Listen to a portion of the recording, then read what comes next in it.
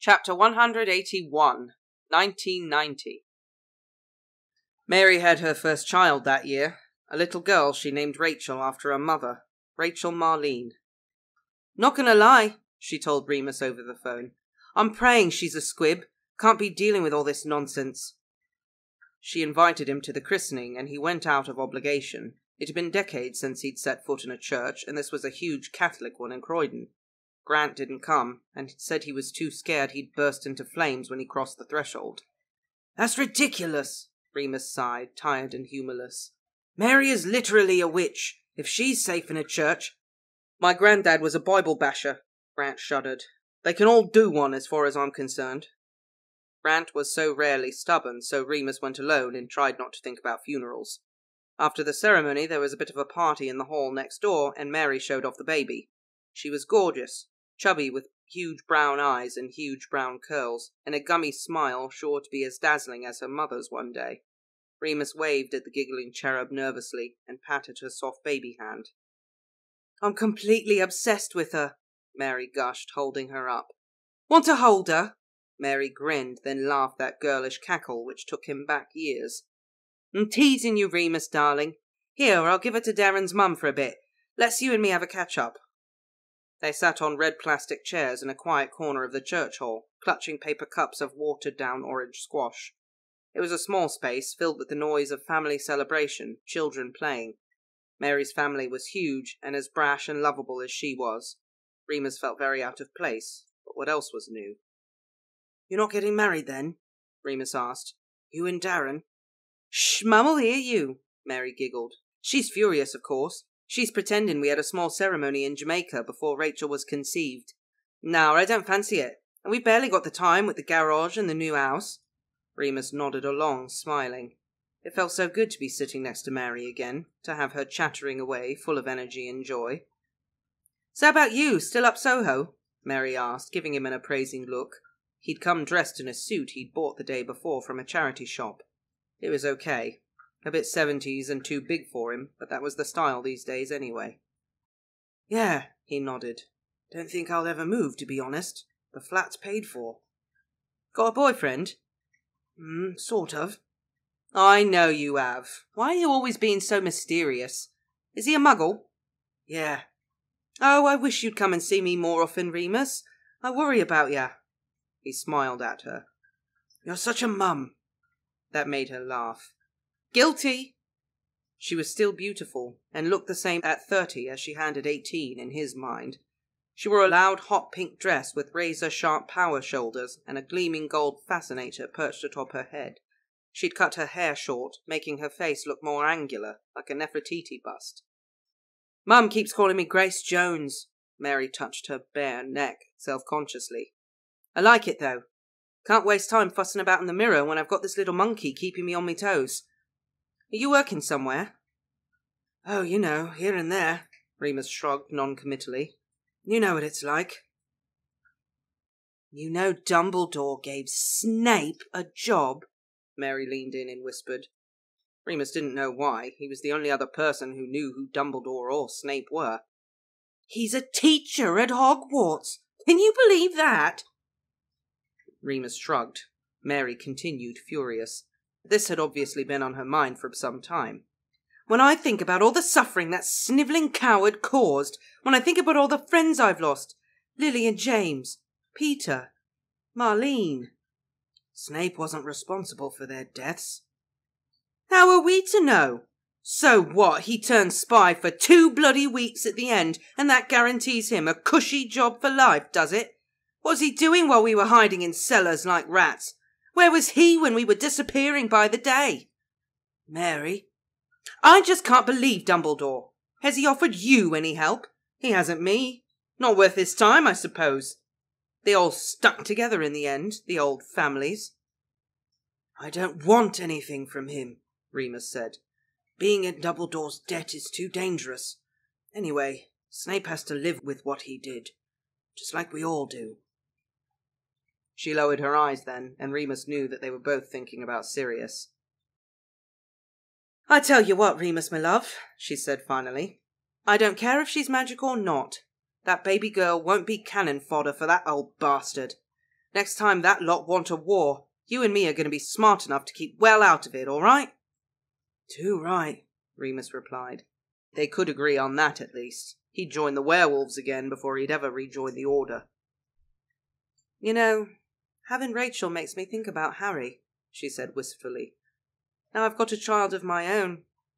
Just don't know how Lily and James did it. Remember? We were all just kids playing Mummy and Daddy, weren't we? I suppose, yeah. He'll be starting Hogwarts next year, Harry. What? That's not right. He must only be. Remus struggled to do the maths in his head. Shit, he said. I didn't even think. Poor little love, going to school with no parents to see him off. Hmm. Oh my gosh, Remus, I wasn't thinking. It's fine, he chuckled. I've got over being an orphan by now. He stayed for about a half hour before heading off to catch his bus in the cold dark of an early winter evening. He clutched two slices of cake wrapped in pink paper napkins. One for you, one for your sort of boyfriend, Mary winked as she handed them over. He kissed her cheek and she stretched up on her tiptoes to hug him. She smelled the same, and it made him want to cry. Love you, sweetheart, she whispered. I'm so pleased to see you getting back to yourself. He gave her a half smile, congratulated her again, and left. She was right. He was getting back to himself. Or if not that, becoming somebody else. Somebody who was coping. He'd kicked fags and booze. He rarely spent afternoons staring at his bedroom ceiling, unable to get dressed. Sometimes weird things made him anxious, like the smell of motor oil, or when they played old Bowie songs on the radio. Once he'd seen a teenage girl with ginger hair get off a bus in Finsbury Park and almost followed her home. He was doing better. Sometimes he could even think about Sirius. Sometimes he could talk about him, only to Grant, and only if he asked. Funny things, like pranks they'd done at school or stupid in jokes. He didn't think about them being together. He'd turned Sirius into a different person in his mind, just another character from his school days. That made things much easier. After the christening on the way home, Remus thought about Harry. He hoped the kid was happy, or at least that he wasn't angry. Remus tried to picture himself, aged eleven, crossing through the barrier at King's Cross for the first time. It had been nerve wracking and exhilarating, and he hadn't known how to act, just how to relate to anyone else. And then he'd met James, the first friendly face on the train that day. It was too cruel that Harry would never know him. Remus was in danger of getting nostalgic now and weepy, so he got off the bus to walk the rest of the way home. He was tired by the time he got in and his hip hurt, but that was okay. He felt good about having left the house. All right, sunshine, Grant called from the kitchen as Remus shut the front door. Hiya. How was it? Church was a bit boring. Seeing Mary was nice. Oh, good. Grant came through to lean in the doorframe. He was drying a dish they'd used last night. Leave that, I'll do it, Remus said, collapsing into the couch. No, it's done. Mary invited us for dinner. They live out in Hounslow, though. Bit of a trek, but if you fancied it. Oh, she knows who I am now, Grant smirked. Sort of. Remus blushed. She knows I'm seeing someone, just. For nine years, Remus. Sorry, it's just weird because. Mary knew me back then, you know. She knew you back when you were with Sirius, Grant said flatly, turning back into the kitchen to put the plate away. Don't be like that, Remus said, getting up stiffly. I'm not being like anything. Grant's face was hidden by the cupboard door. I invited you to the christening. You didn't want to come. You know bloody well why, too. You hate churches. I know. Well, then. Why are we fighting? Remus frowned, confused. This isn't fighting. Grant closed the door to the cupboard, sighing. What is it then? It was ten years ago, that's all. You're still acting like I don't matter as much as he did. What? No, that's mad, that's. That's all I want to say. Grant raised a hand to stop him. Like I said, this isn't a fight. But Grant, I don't. You're wrong, I swear. I want you to meet Mary, I do. I'm going for a walk, okay? I need some air. Grant pushed past him to the door.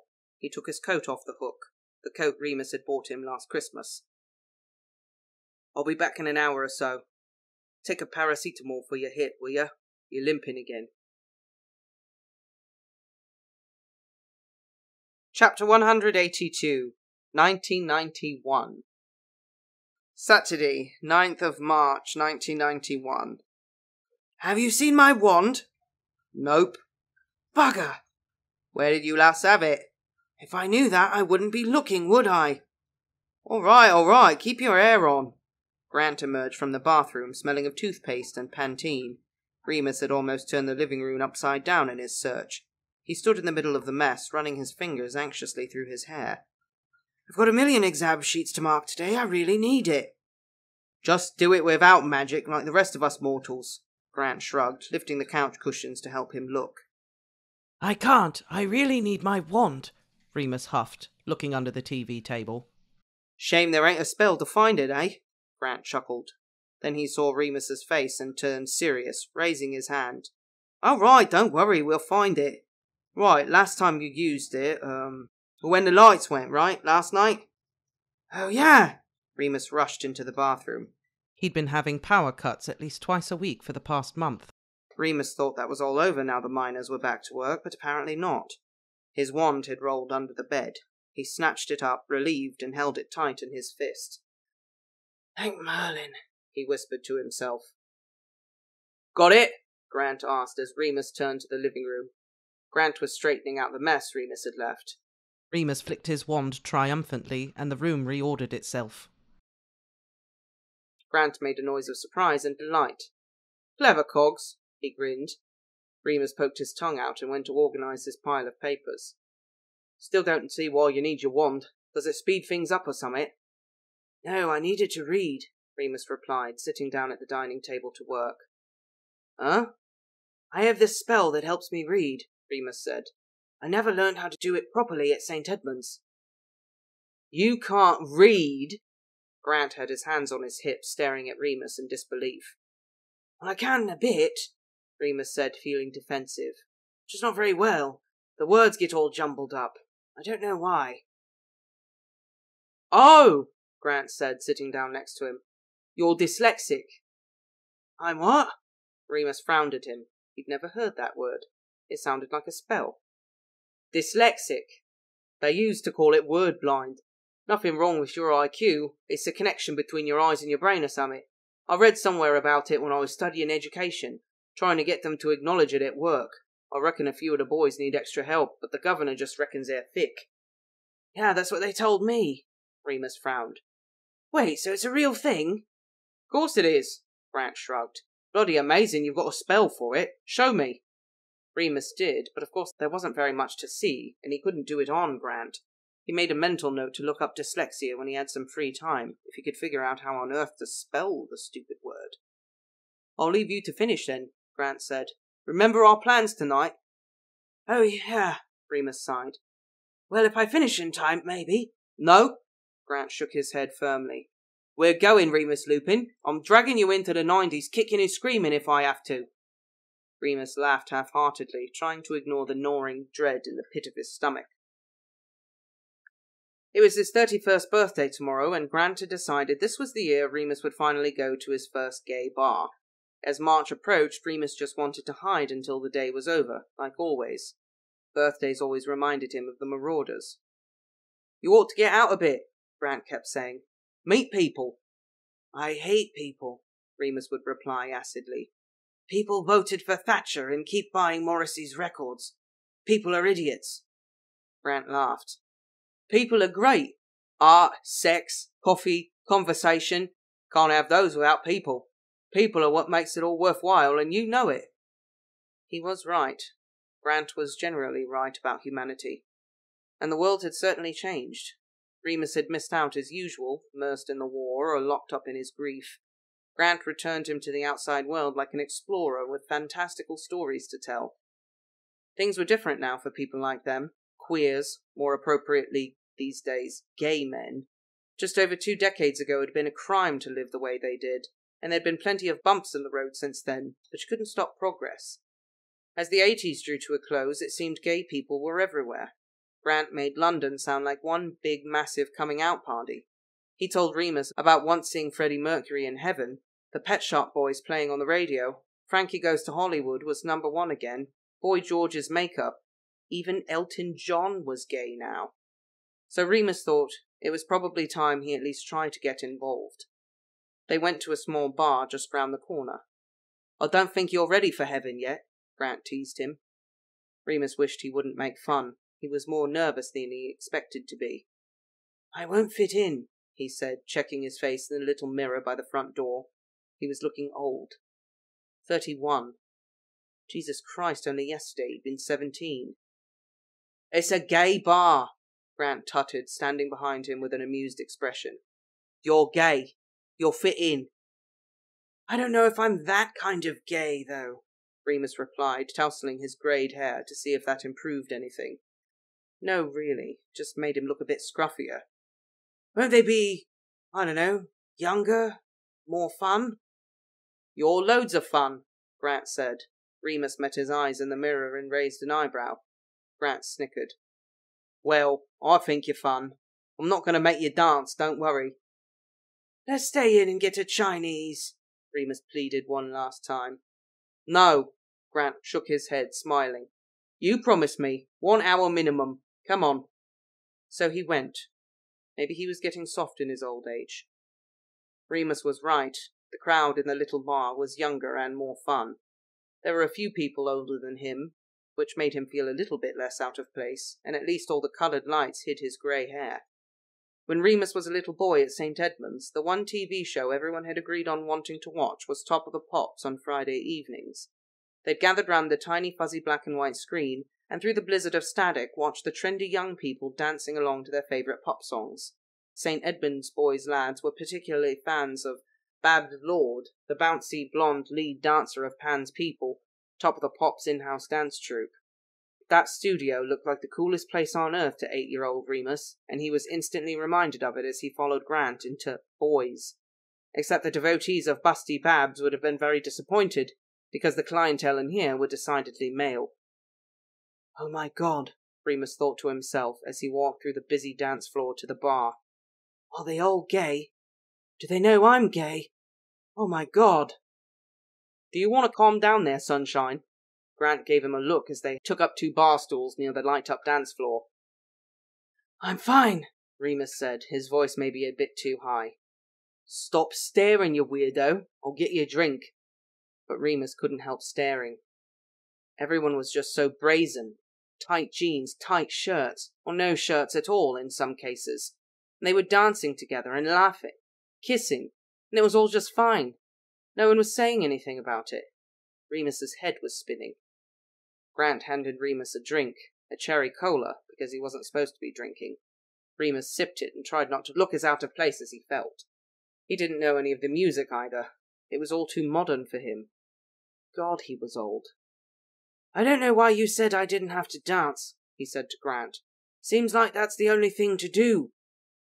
You don't have to do anything you don't want to, Grant smiled. Relax. That's the whole point of being here. Remus tried. He was glad it wasn't a busy night. He didn't think he'd be able to cope with a crowd. He sat on his stool and sipped his coke and looked around without staring, and eventually it felt a little bit less scary. He felt a bit twitchy when a drag queen sidled up to him, six foot ten in pink PVC platform boots and a Dolly Parton wig, but she fluttered her massive eyelashes at him and held out a cigarette. Put a light, handsome. Remus felt his cheeks burning and shook his head shyly. Sorry, he mumbled. Don't smoke. Oi, do your trick, though. Remus elbowed him. Grant elbowed him. He addressed the drag queen. Remus here does this amazing magic trick. Oh, I love a bit of magic, the glamorous stranger purred. Remus bit his lip but nodded. Uh, okay, um. He took the cigarette and put it between his own lips, then snapped his fingers. The end lit at once, and Remus took a quick drag for his troubles before handing it back. Blimey! The drag queen blinked, staring at the lit fag. Amazing is right. Better watch out for you, eh, magic man? Remus blushed again, looking down at his coke. Just a sleight of hand. Come here often? She leaned against the bar, smoking, the blood-red lipstick staining the fag end. Oh no, Remus said, maybe a bit too quickly. Grant laughed and put a hand on his shoulder. It's his first time. Brought him for his birthday. Oh, happy birthday, she smiled broadly. We'll have to play your song later. Just go and tell the DJ, okay, sweetie?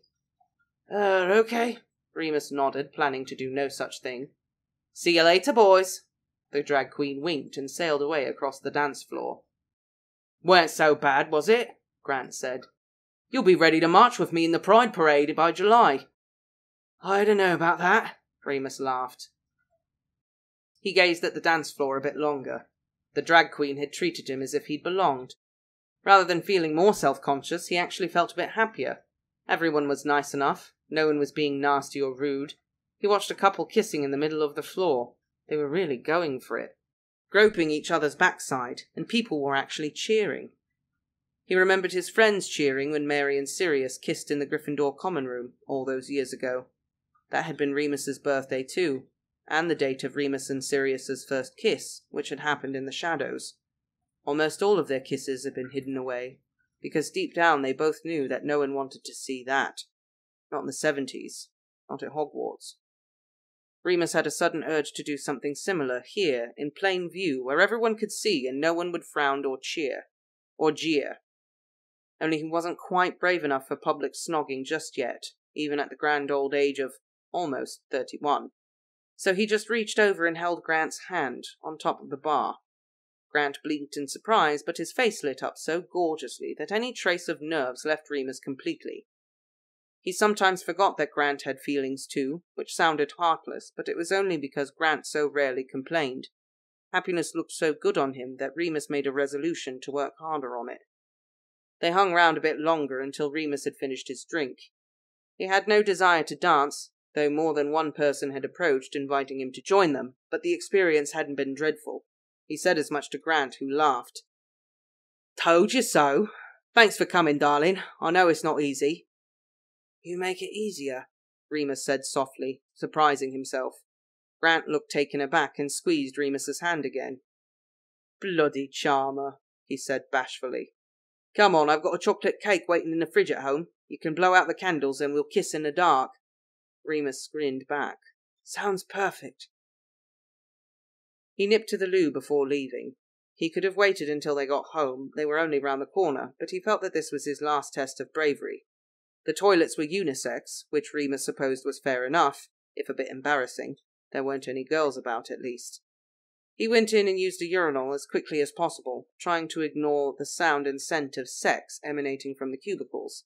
He was just washing his hands when the door swung open and someone closed in behind him. He spun around, surprised, and faced the stranger. What? The man grinned wide, showing his teeth. He licked his lips and sniffed the air, and then it hit Remus. The familiar scent, the instant connection, the lack of respect for personal space. A werewolf. I smelled your magic, the man said, his voice low. Delicious. Haven't seen you before.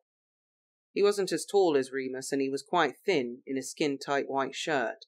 He had long flame red hair, straight as a poker, and glacier blue eyes. The scent of earthy natural magic radiated off him in waves that made Remus giddy, blood rushing through his veins and arteries like an elixir. Hi. The stranger sniffed again. Which pack are you? You smell like greyback. Remus balked a bit at the idea he had any of Greyback in him, but he shook his head. No pack. Brave of you. Not worried you'll get rounded up by the ministry? What about you? Who are you with? For a moment he hoped he was one of Castor's. He desperately wanted to know how they were all doing, but the stranger just shrugged. Oh, we drift here and there. You won't have heard of us. But you know Greyback. Oh, yes. He pulled his shirt down at the collar, revealing an enormous bite mark which was all too familiar to Remus. We go back a long way, he and I. The war. Were you? Ah, I was barely a pup back then. The werewolf raised an eyebrow. His skin was so fair that his scars were like streaks of silver, pearlescent as moonbeams. But the next war, the next war we shall be ready for. There won't be another war, Remus said, he was backed up against the porcelain sink. The werewolf had placed a hand on either side of him. He was trapped, but he'd made no move to escape. Not yet. Voldemort's dead. Hmm, some say. The werewolf smirked. He leaned in and licked behind Remus's earlobe. It made him shudder all over. He had to hold in a whimper. The other man pressed in on him and whispered, But I have heard that part of him lives still. The forests speak of ancient magic, of cursed blood. The Dark Lord gathers his strength. No. Remus shook his head. He tried to push back, but only succeeded in grinding their bodies together. He knew it was all lies, and he knew this man was trouble. Oh God, the scent. The scent was so heady. His body wouldn't listen to him. It only wanted one thing. Come, the werewolf kept whispering, his breath hot on Remus's neck. No more talk of war. It's not our concern just yet. I want to enjoy you. Do you live nearby? We can go anywhere you like. This is going to be so good. The moon is waxing. Remus shook his head again, as if he could rid himself of the fog of pheromones flooding his system. I am here with someone, he rasped. Bring them, if you like, the wolf chuckled. I'm all for sharing. No, no, I have to go. Remus used his last shred of willpower to extricate himself from the stranger and hurry back into the bar, feeling the wolf's eyes blazing at his back. He found Grant and grabbed his shirt sleeve, hissing. We have to go home. Are you all right? Something happened? No, um, I just want to go home. I want to, I want to take you home. He met Grant's eyes, still holding his arm, and he wondered if Grant could feel it too. Feel the burning, the need. Sirius always could, but perhaps you had to be sensitive to magic? Remus focused the intensity, projecting it outwards. Grant's eyes flickered and his pupils dilated, a warm blush creeping up his cheek. All right then, he knocked back the last of his drink and they left, running out into the busy street together, hand in hand. Chapter 183 Summer, 1993. 7th of August, 1993. An owl arrived that morning, and it was as if Remus had been waiting for it all along. He was brushing his teeth when the bird landed on his bathroom windowsill, brown and tawny. He recognized it at once. He would know a Hogwarts owl anywhere. It gave an official hoot and stuck out its scaly leg. Remus untied the letter, toothbrush clenched between his teeth, mouth full of froth. He spat and opened the envelope as the bird took off again, navigating the narrow buildings with the perfect ease of a predator. Mr. R. J. Lupin. Professor Dumbledore wishes to pay you a visit today at about tea time. He apologizes for the short notice given and hopes that you will be made welcome. No need to provide refreshments hoping you are well. It was not signed and had presumably come directly from the headmaster's office. Remus expected his insides to turn cold, his hands to shake, tears to prick his eyes. But nothing came. He felt no reaction other than extreme tiredness. Heaving a sigh, Remus finished brushing his teeth and dressed. Grant left at some point for football practice. He'd invited Remus. He always asked, but Remus never took him up on it. He spent enough of his life watching people who were sportier than him doing sporty things. It was a Saturday and there was nothing much to do, so Remus read the paper. The Guardian. He hadn't picked up a copy of The Prophet in years, and settled in to wait. He expected that tea time was about 5 p.m., though you could never tell with Dumbledore.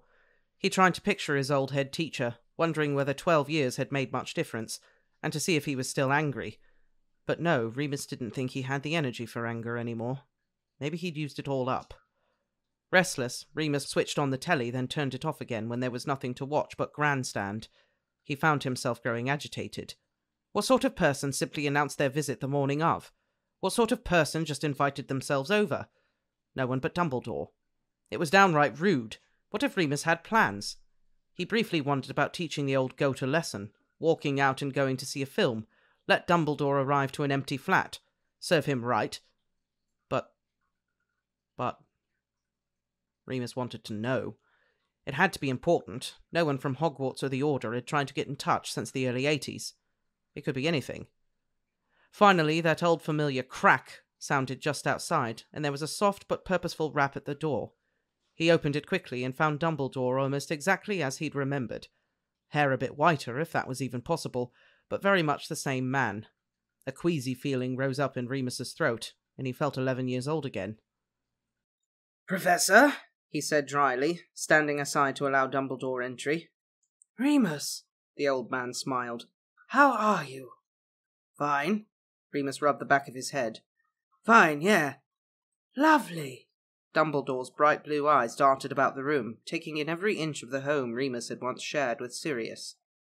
Sit if you want, Remus offered. Thank you. Tea? Certainly, very kind. Remus took the opportunity to escape to the kitchen. He made the tea the muggle way, with the electric kettle, just to stay away a bit longer. Sugar? he called. Three, if you please. The old man still had his sweet tooth then. Remus remembered the sherbet lemons with reluctant fondness. Tea made, he returned to the living room and set the mugs down on his battered old coffee table, using an old copy of Private Eye as a coaster. It's been ages, Remus said, sitting in an armchair. Twelve years. I know. Remus flinched, irritated. Did Dumbledore really think he couldn't count away each passing year, every month? You're keeping well? Well enough. I get by. Do you know why I'm here? The wizard asked. Remus shrugged. Haven't the foggiest. Dumbledore sighed very softly, then set down his mug of tea. I was somewhat afraid of that. You haven't been reading the news, then? Not your news, no. Why? Oh, dear. I had hoped you'd already. You see, Remus.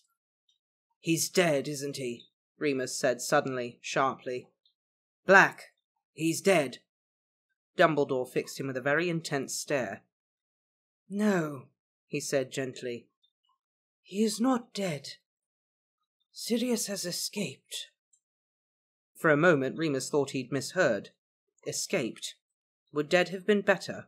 At least if Sirius was dead, then it was all over finally. He couldn't wrap his head round what escape meant.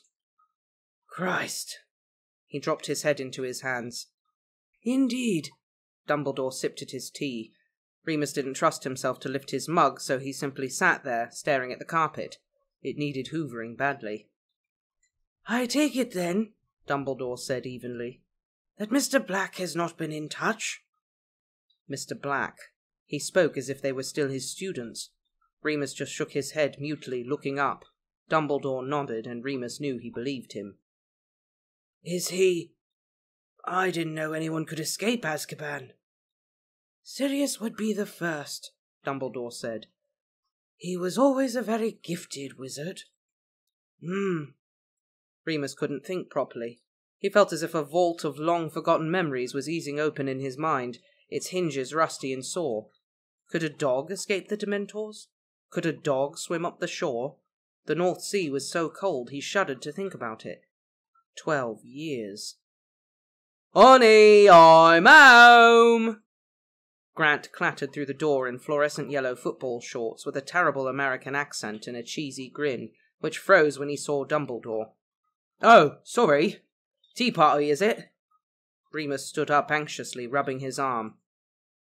Grant, I, um, this is my old head teacher. Could you give us a minute? If you want. Grant furrowed his brow, eyes darting back and forth. Should I leave? No, don't go. Just.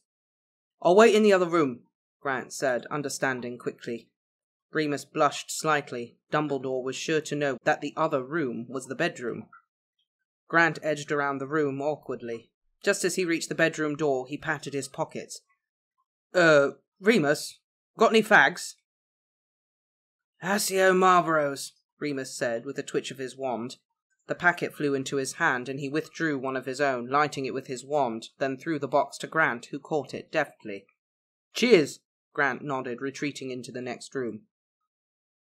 Remus took a long drag, staring into space. His head swam. He rarely smoked any more. He hid a box for emergencies, and this was an enormous emergency. You perform magic in front of this young man?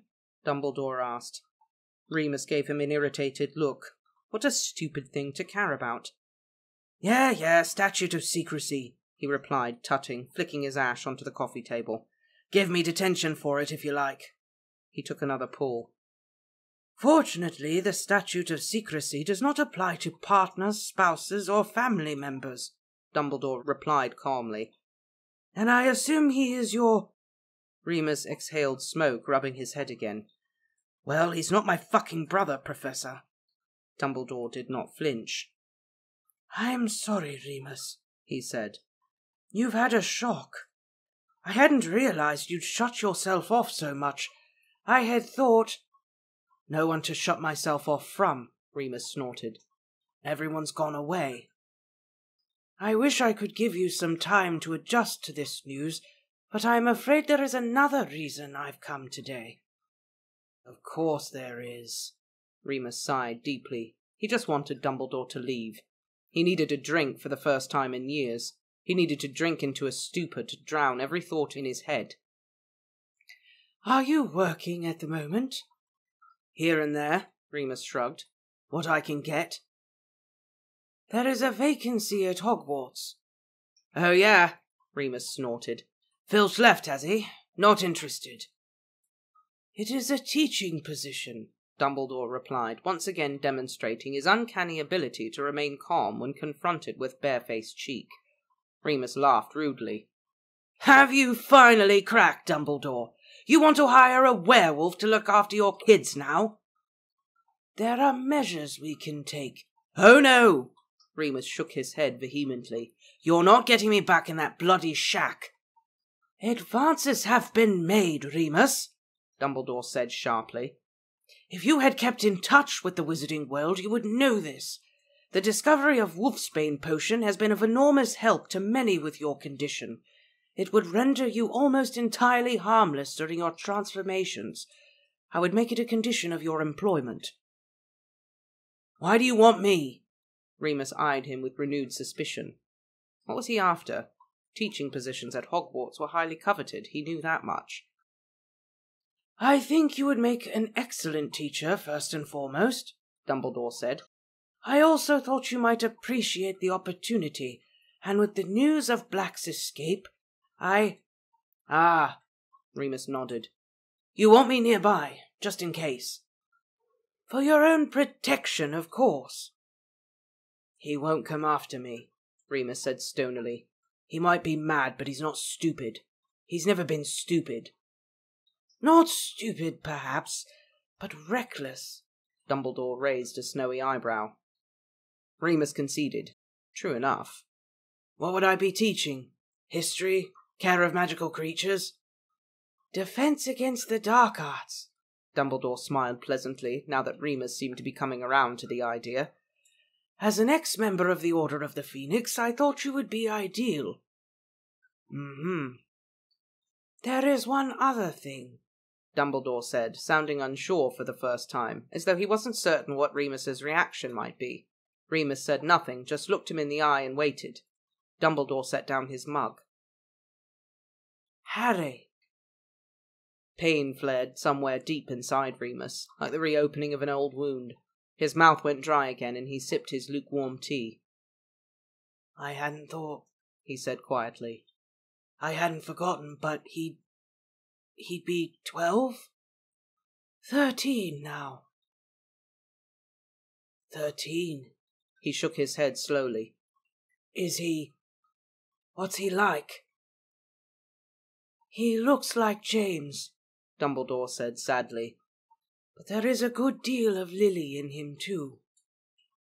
Remus was quiet for almost a full moment before getting his breath under control. Finally, he raised his head. Okay, he said.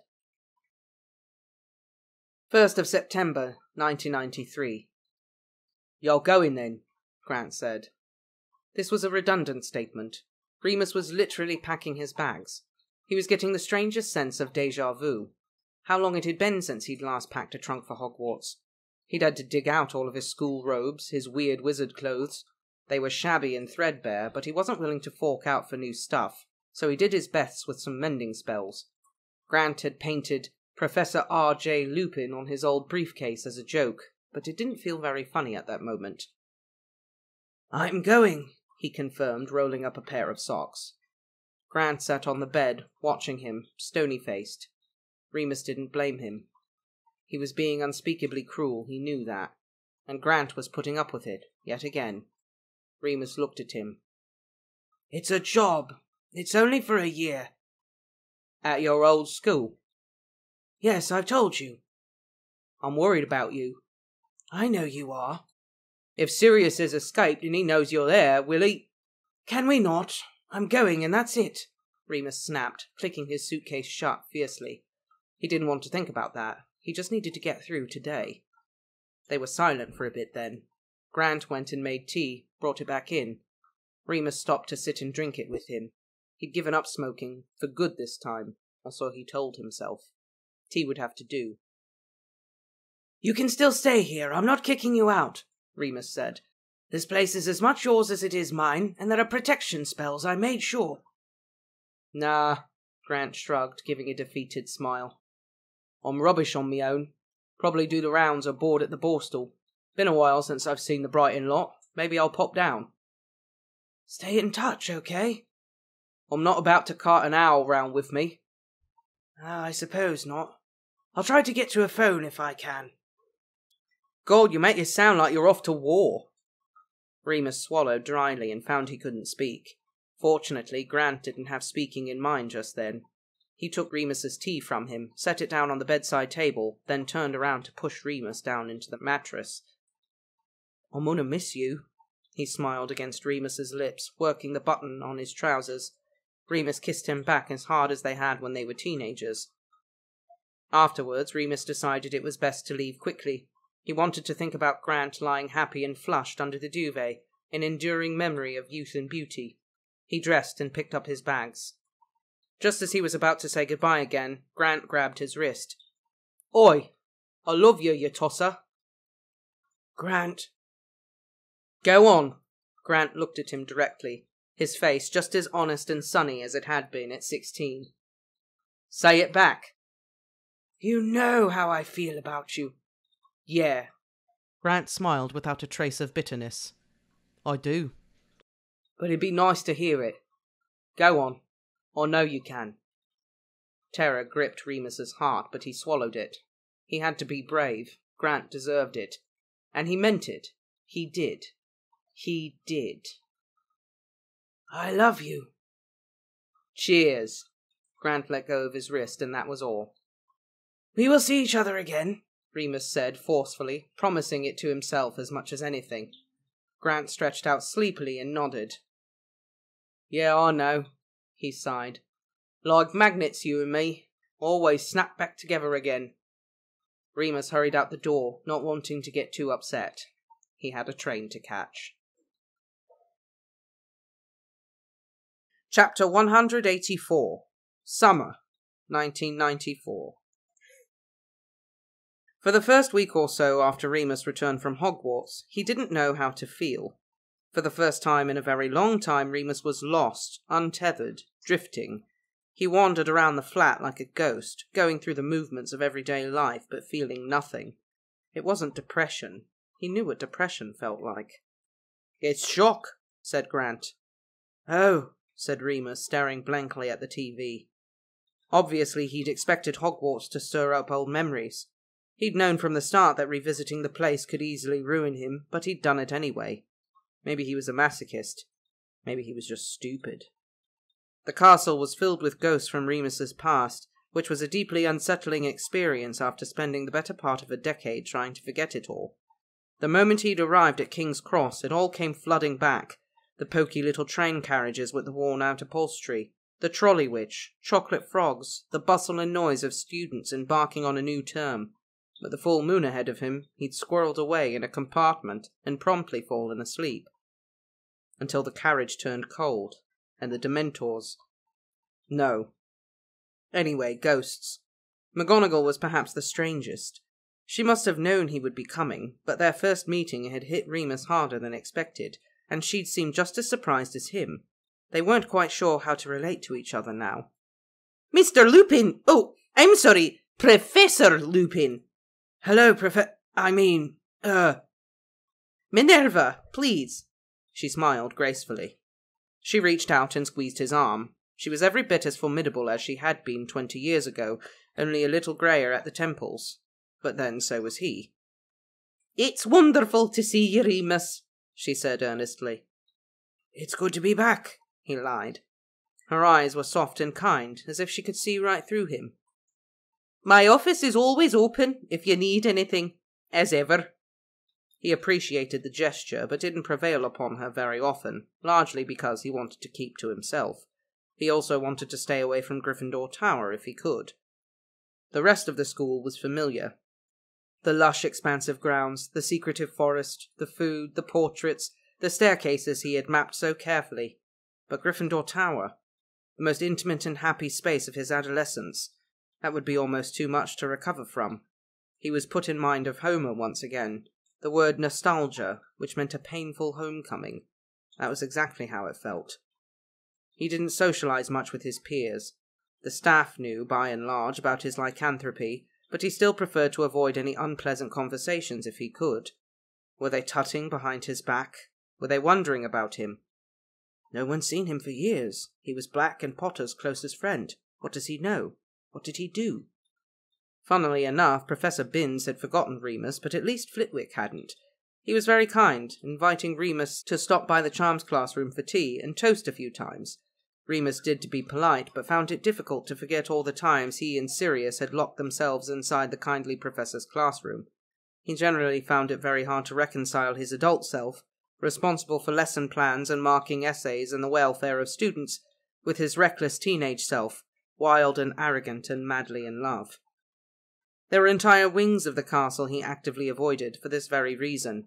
He barely left his classroom and chambers except for meals in the Great Hall, and he never went to Hogsmeade, except to quickly pass through on the way to the old phone box just outside the village, and thank God that was still there.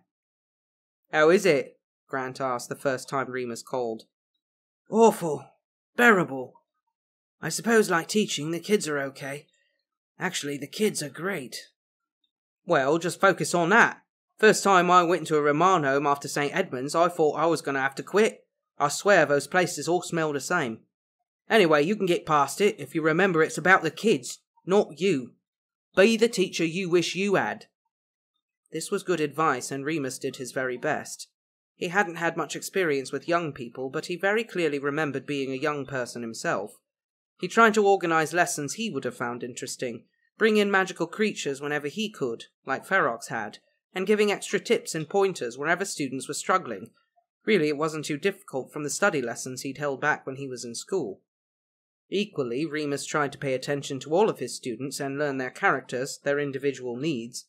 That was incredibly weird at first. He found no less than five Weasleys to teach, one in almost every year. Then there was poor little Neville Longbottom, awkward and nervous and twitchy. Narcissa's son was in another class, the spitting image of Lucius, and then, of course, there was. Anyway, aside from Flitwick and McGonagall, the rest of the staff were virtual strangers to Remus, except, of course, for the potions master. Remus had really wanted to stay out of Snape's way, but from the very first day it was clear that that was not going to be easy. It was a full moon, and of course Snape was the only one who knew how to brew Wolfsbane potion. The prick. He probably learned how to do it just to torment Remus. It was bad enough they had to share a castle again, but Snape was hell bent on making sure Remus felt his displeasure at the arrangement. Lupin, he said haughtily at their first meeting, just before the welcome feast. I was surprised to hear you'd survived the war. His lips curled. When it seems so many of your friends did not. As foul as Snape was, it did bring out something Remus hadn't properly felt in years mischief. Severus, he said warmly. And I was surprised to hear you survived the trials, when so many of your friends did not. Snape sneered, and that set the tone for the year. Severus had clearly not forgotten the events of their fifth year. He was as despicable as Remus remembered him, and had not aged well. His hair still hung lank and greasy, perhaps a little further back than before. His black eyes were more sunken, and his nose was more beak-like. He made Remus's skin crawl, but there was nothing to be done about it. They had to meet privately each month for the potion. The potion itself was utterly vile, and Remus resented it bitterly. It tasted awful, but worse than that was the effect it had. He still transformed, still suffered the agonies as his skull elongated and his back split open and his tendons creaked, but he fully retained his human mind afterwards. This was utterly horrible. Remus had come to see the monthly retreat into his animal brain as something of a catharsis, but having an animal body and human thoughts turned out to be very unpleasant indeed. He felt neither here nor there, trapped in the wrong form and unable to escape. He curled up to sleep, locked inside his office every month, full of self loathing. In the mornings after, he would limp to Madame Pomfrey's office to ask for Murtlap essence. Of everyone from Remus's childhood, Pomfrey seemed the most pleased to see him again. She had aged like everyone else, but had retained her gentle touch, her sweet face, and her no nonsense attitude to Remus's well being. Remus! She reached up to hug him for the very first moment she saw him. Just look at you! Giant of a man! Er, uh, Madam, er, uh, Poppy. As polite as ever, she smiled. Come on, come and tell me what you've been doing with yourself. They had a few very pleasant catch ups in her office by the fireplace. She wanted to know everything about his transformation since Hogwarts, and he told her as much as he could. She was interested to hear about the pack and how they were able to heal each other by sharing group magic. I tried to get in touch with you after the Potters died, she said sadly, but no one would tell me where you were living, and I didn't dare ask too much in case. Remus looked away, embarrassed. I'm sorry, he said. I wanted to be left alone. Yes, well, you were the same as a boy. Stubborn, she smiled fondly. He smiled back, realizing how much he'd missed her. For the first month or so, Remus's nerves were raw. He hesitated as he turned every corner, worried that he might be seeing something painful. But as pain often does, this lessened over time. He slipped into a new character. Not the teenage Remus who took risks without thinking, who was desperate to prove himself, and not the half muggle, half broken man he'd been in London. Somewhere between these two warring halves, he became Professor Lupin, restrained and serious, offering encouragement wherever he could. And this was all just as well, because that was exactly who he needed to be. For Harry. God. Harry. Harry Potter was James and Lily seamlessly combined, all charm and cheek and strength and goodness. Remus had been worried, knowing that the kid's childhood had been far from ideal that Harry would be difficult. Remus well remembered his own spiky temperament at thirteen. Cruel adults make bitter children. But no. Harry was as kind hearted and open minded as his parents, full of love and so, so generous with it. Getting to know him had been painful and joyful all at once. The first time they met, Remus thought he was still dreaming. He woke up on the train, clawed awake by Dementors, those fucking abominations. He cleared the threat and stared around at the faces of the frightened kids, found Harry, passed out on the floor. Until he opened his eyes, he was James. Nothing could convince Remus otherwise. A bit skinnier, maybe shorter than Prongs had been at thirteen, but otherwise the spitting image. Of course, Harry had no idea who Remus was, and for as long as possible it stayed that way. How could he explain? Even after a few conversations with the boy, Remus was completely at sea. So he let Harry lead the way, and answered the questions which had suitable answers. When Harry came to him asking for Patronus lessons so that he could keep playing Quidditch, Remus couldn't say no. It was exactly what James would do, too. And when Sirius came up, he sidestepped it. Harry already knew that Black and James had been friends, and Remus wasn't sure what more he could say without losing the kid's trust. Yes, Harry, your dad was my best friend, but Sirius Black was my everything. No, it wouldn't do. What was more, Remus wasn't sure whether the Wizarding World had its own version of Section 28. If he started confessing stuff like that, could he get in trouble for corrupting young minds? It was bad enough he was a werewolf. By that time, it was already clear that Sirius was nearby. When the convict broke into the castle on Halloween night, Remus almost walked straight off the grounds and apparated back to London. Maybe he would have if the perimeter weren't swarming with Dementors, and of course the fact that Black was definitely after Harry. That made Remus furious. Hadn't Sirius done enough damage? He must have really lost his mind. He must have strayed so far from the young man who'd cradled baby Harry in his arms with tenderness and awe. Remus used this as a reminder to steel himself. It was no use mourning Sirius. His Sirius had died many years ago. And then that night happened. In a matter of hours, everything changed. Fuck. Maybe Grant was right. Maybe it was shock. After being given his marching orders from Hogwarts, Thank God, another year might have killed him. Remus took the night bus back to London, his mind churning over everything he'd learnt. Events kept shifting and reordering themselves. Some things became clearer, others muddied by various versions of the truth. The things Sirius had said, the excuses Wormtail had snivelled, and everything Remus thought he'd known. None of these accounts lined up quite right. The only thing Remus was certain of was that for twelve years he'd hated the wrong person. Please come back, he wailed down the phone to Grant once he was home. Please, please. I'm on my way, Grant said and hung up immediately. It still took hours. Remus changed into his muggle clothes, throwing Professor Lupin's shabby robes in a corner of the bathroom, and paced the flat while he waited, cursing the slowness of muggle transport. He didn't drink. He wanted a clear head. He wanted to understand. Remus! Grant burst into the living room, tired and dishevelled. He'd had a haircut in the past year. It was so short it barely curled any more. Remus hated it, but said nothing, just ran to hug him. What happened? Grant asked, huffing as Remus knocked the air out of him, but squeezing him back reassuringly. He didn't look the same, but he smelled the same, and that helped. That was grounding. He was innocent, Remus babbled, still clinging on. It was Peter all along. It was never him. I'm such an idiot. Remus, I don't know what you're talking about, please. Let's just sit down, shall we? Christ, you're skinny. Don't they feed you at that school?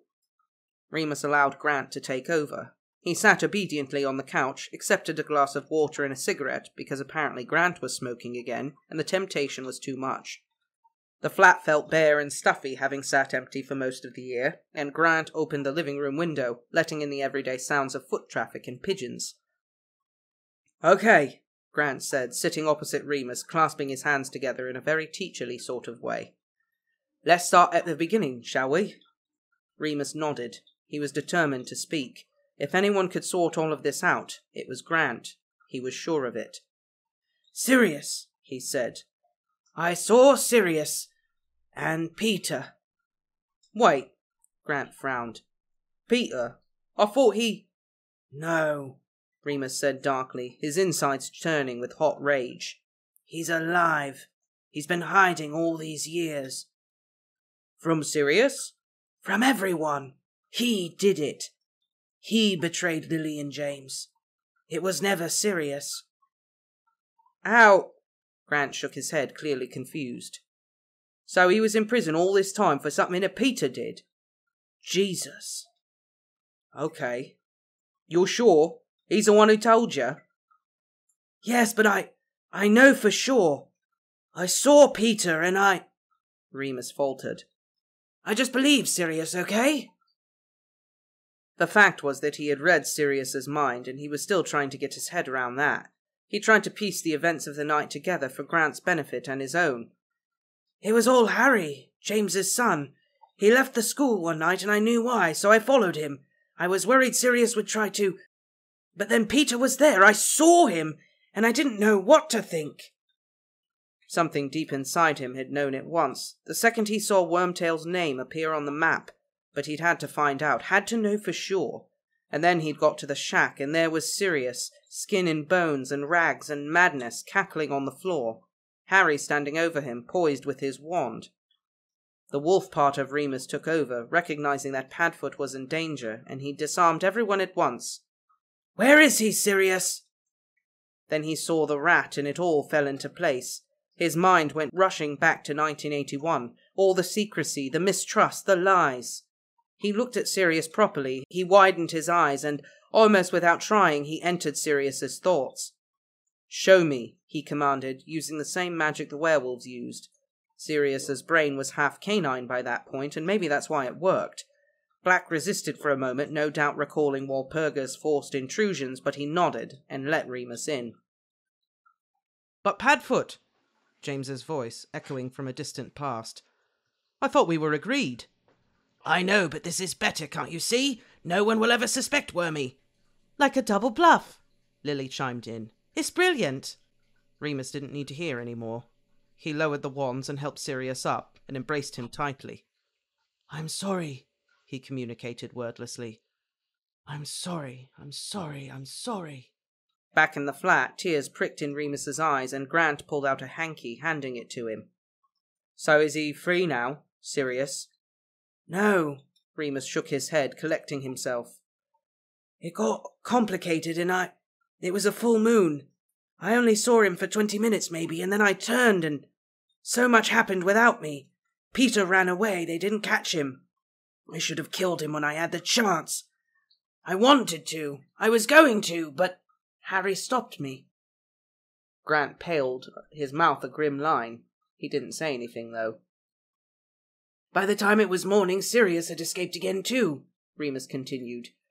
He's in hiding, and I don't know. I don't know if I'll ever see him again. He wiped his eyes and ran his fingers through his hair.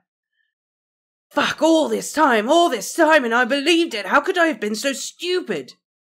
Hey, stop it, Grant frowned, reaching out. Remus stood up abruptly, ignoring Grant and pacing the room once more, muttering to himself. I should have known he would have never hurt James. I shouldn't have been so bloody gullible, so weak. I should have tried to see him. I could have got him out of there. I could have tracked down Peter. I could have. Remus! Grant raised his voice. Stop it! Remus looked at him. I don't know what to do, he said. Grant sighed. Me neither, mate. He rubbed a hand over his face, and Remus saw the rings under his eyes. Grant stood up. But there's nothing you can do right this second. So I'm going to have a shower, right? Then we'll get dinner. Then we'll talk a bit more. Remus nodded eagerly. Yes, this is what he needed. A plan. Clear defined next steps. Grant left the room warily. Remus waited, listening to the water running, trying once again to get his thoughts in order. He did something he hadn't done since he was a teenager. He made a list. So, Moony, he said to himself, what are the facts? 1. Sirius Black did not murder James and Lily Potter. 2. Peter Pettigrew was alive. 3. Peter Pettigrew had been a spy. 4. Peter Pettigrew murdered James and Lily Potter. 5. Sirius Black had been in prison for twelve years for a crime he was innocent of. A surge of anger washed over him once more. He had believed it. He was as guilty as Dumbledore, as anyone else who had simply assumed Sirius was the spy because Sirius was a black. In fact, Remus had been more at fault because he ought to have known. No one was closer to Sirius than he was. Those last few months of the war were such a blur. Hadn't there been something wrong? Hadn't Sirius been distant, cold with him? In the years past, Remus had taken that as proof of Padfoot's betrayal. But now, with a sick feeling, he saw it for what it was. He thought I was the spy, he said to Grant the second he was out of the bathroom. Oi! Grant frowned, trying to get past Remus, wrapped in a towel. Spy? What? Oh, let me get dressed, come on. Remus followed him into the bedroom and sat on the bed, talking fast as Grant dried himself and put on clean clothes. During the war, we knew there was a spy. We knew someone was passing information to the other side, but no one knew who it was. Afterwards, we thought it was Sirius. It all made sense. He was caught blowing up a street full of muggles and. Do you have to call normal people that? Sorry, anyway, Sirius was the secret keeper for James and Lily. Uh, that means he had this spell on him, so only he knew who they were to keep them safe. But he switched with Peter at last minute, and now we know that Peter was the spy. And they didn't tell me about the switch. Sirius didn't tell me because he must have. He didn't trust you, Grant said bluntly. Dressed, he sat down on the bed too, at a distance from Remus. I suppose I can't blame him. Have you broken his trust before? Grant raised an eyebrow. No. Did you think he was a spy before James and Lily died? No, never. Well then, Grant stood up. I'm going to nip down the shop. We need milk and bread, toothpaste. Wait, no, what do you mean, well then? Nothing. Look, come on, come to the shop with me. Then I promise we'll talk about it. I'll listen to you all night long if you want, I swear. I just need to get some food in you first. Remus went along with that. He watched Grant cook and he swallowed every mouthful, and then he talked, and he talked, and he talked. But it was no good. It came to nothing in the end. If Sirius is in hiding and Peter's on the run, Grant said, yawning. He'll go straight to Voldemort, the rat, Remus growled. Right then, Grant waved a hand. If Sirius is in hiding, then you can't do nothing. Sounds like it's out of your hands. Maybe I could send an owl, only that might give away his location.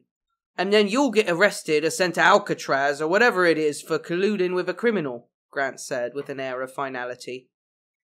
I just want to help him, Remus said. Course you do, but I don't see how. They sat in silence for a while, thinking. It was dark outside. Remus didn't know what time it was, but it had to be pretty late. Grant looked exhausted, and Remus felt a small twinge of guilt on top of everything else. Sorry to put you through all of this, he said quietly, reaching for Grant's hand. It's not really fair of me. It's fine. Grant gave him a small smile, stroking Remus's knuckles with his thumb. I do understand. It's just a lot. I know. How how was it seeing him? I mean, how did it make you feel? Remus shifted awkwardly. There it was, the thought he'd been avoiding. Because if Sirius was innocent, if he'd never betrayed James, then he'd never betrayed Remus either. And Remus didn't know what that meant to him now, after so much time. We're both so different now, he said, aware Grant was holding his breath while he waited for the response. I barely recognized him, really. I just felt sorry for him. The flutter in his stomach told him he was lying. Grant moved over and kissed him. Everything'll be all right in the end. Chapter 185 Early Summer, 1995. Saturday, 24th of June, 1995. That fucking phoenix arrived first, and Remus knew at once. What the bloody hell is that? Grant leapt up, startled by the silvery bird which burst into their living room. They'd been watching telly with all the windows open to counteract the summer heat. Remus had just been about to put the kettle on. The bird sat on top of their boxy little TV and opened its beak, speaking in Dumbledore's voice. Padfoot is on his way. Remus nearly dropped the empty mugs he was holding. Fuck. What? Grant said, watching the bird vanish into thin air. Who's Padfoot? Fuck, Remus said again, setting down the mugs. He'd begun to shake uncontrollably. He felt cold all over. I don't think I can. I don't think I can, he mumbled to himself, covering his mouth. Remus? Grant stood up and touched his shoulder. You're scaring me. Sirius, he spluttered. Sirius is Padfoot. Bloody hell, the murderer! Not a murderer, I told you. Right, right. Uh, so, sorry. Coming here? It's his flat, after all. Oh, I forgot. Grant said flatly. He bit his lip. Should I go? No! Remus clung to Grant suddenly. No, please, please don't. I can't be alone. Don't leave me alone with. Okay, okay. Grant soothed him, hugging him back. Calm down, all right? I won't go anywhere if you don't want. Just Try to get yourself back together. I'm sorry. Remus took a deep breath. He knew he was acting childishly. This was no time to fall apart. He'd had years and years of that. If Dumbledore was sending Sirius to him, then something had happened. Something important. Now was the time for strength and action. He gazed about blindly for something to do. This place is a mess. I should start cleaning. He won't be long. Grant was helpless to do anything but watch as Remus ran round the flat like a headless chicken, using every cleaning charm he could remember, combined with some actual manual labour when he mucked up the spells. He couldn't stop moving, he couldn't bear to sit still for a moment, because then he might have to think.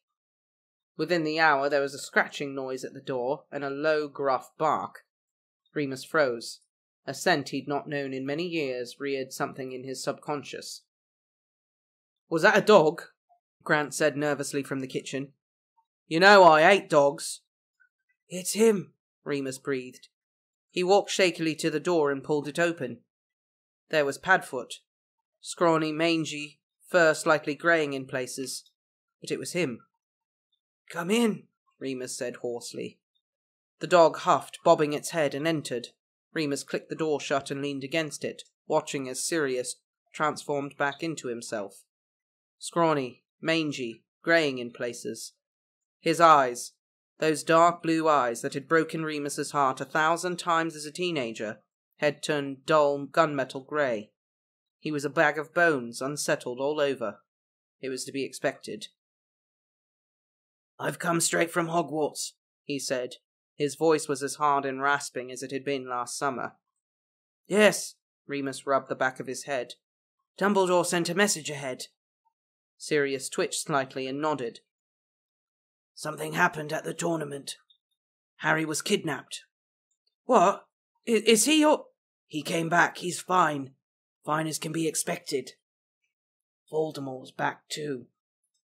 What? It's true. Harry faced him. No. Remus felt sick. The Order's reforming. Dumbledore told me to come here. Lie low. Right. Remus nodded, still taking in the shock. If that's. Sirius's face softened. He looked younger, more like the real Sirius. If you don't mind. I just followed orders without thinking, but I could go somewhere else if. No, Remus said very firmly, snapping out of the confusion that had gripped him ever since Dumbledore's Patronus had appeared. He put a hand on Sirius's shoulder. Oh, he was so thin. Of course you can stay here. It's your home.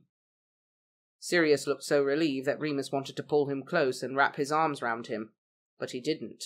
He looked at Grant, who was watching warily from the kitchen doorway. Sirius followed his eye line and gave a start. You're here. It wasn't a question, just a statement of fact. Grant, God love him, gave his breeziest smile. All right, mate. Tell you what, you look like you could do with a Chinese. I'll pop out, shall I, Remus? You don't have to.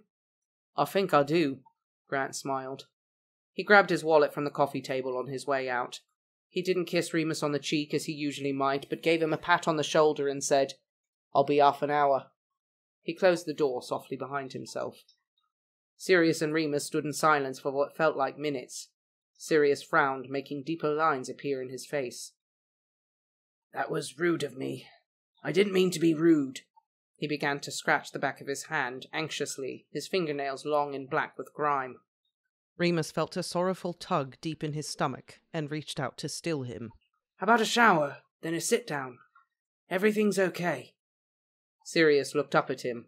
Remus had forgotten how much smaller he was. Sounds good.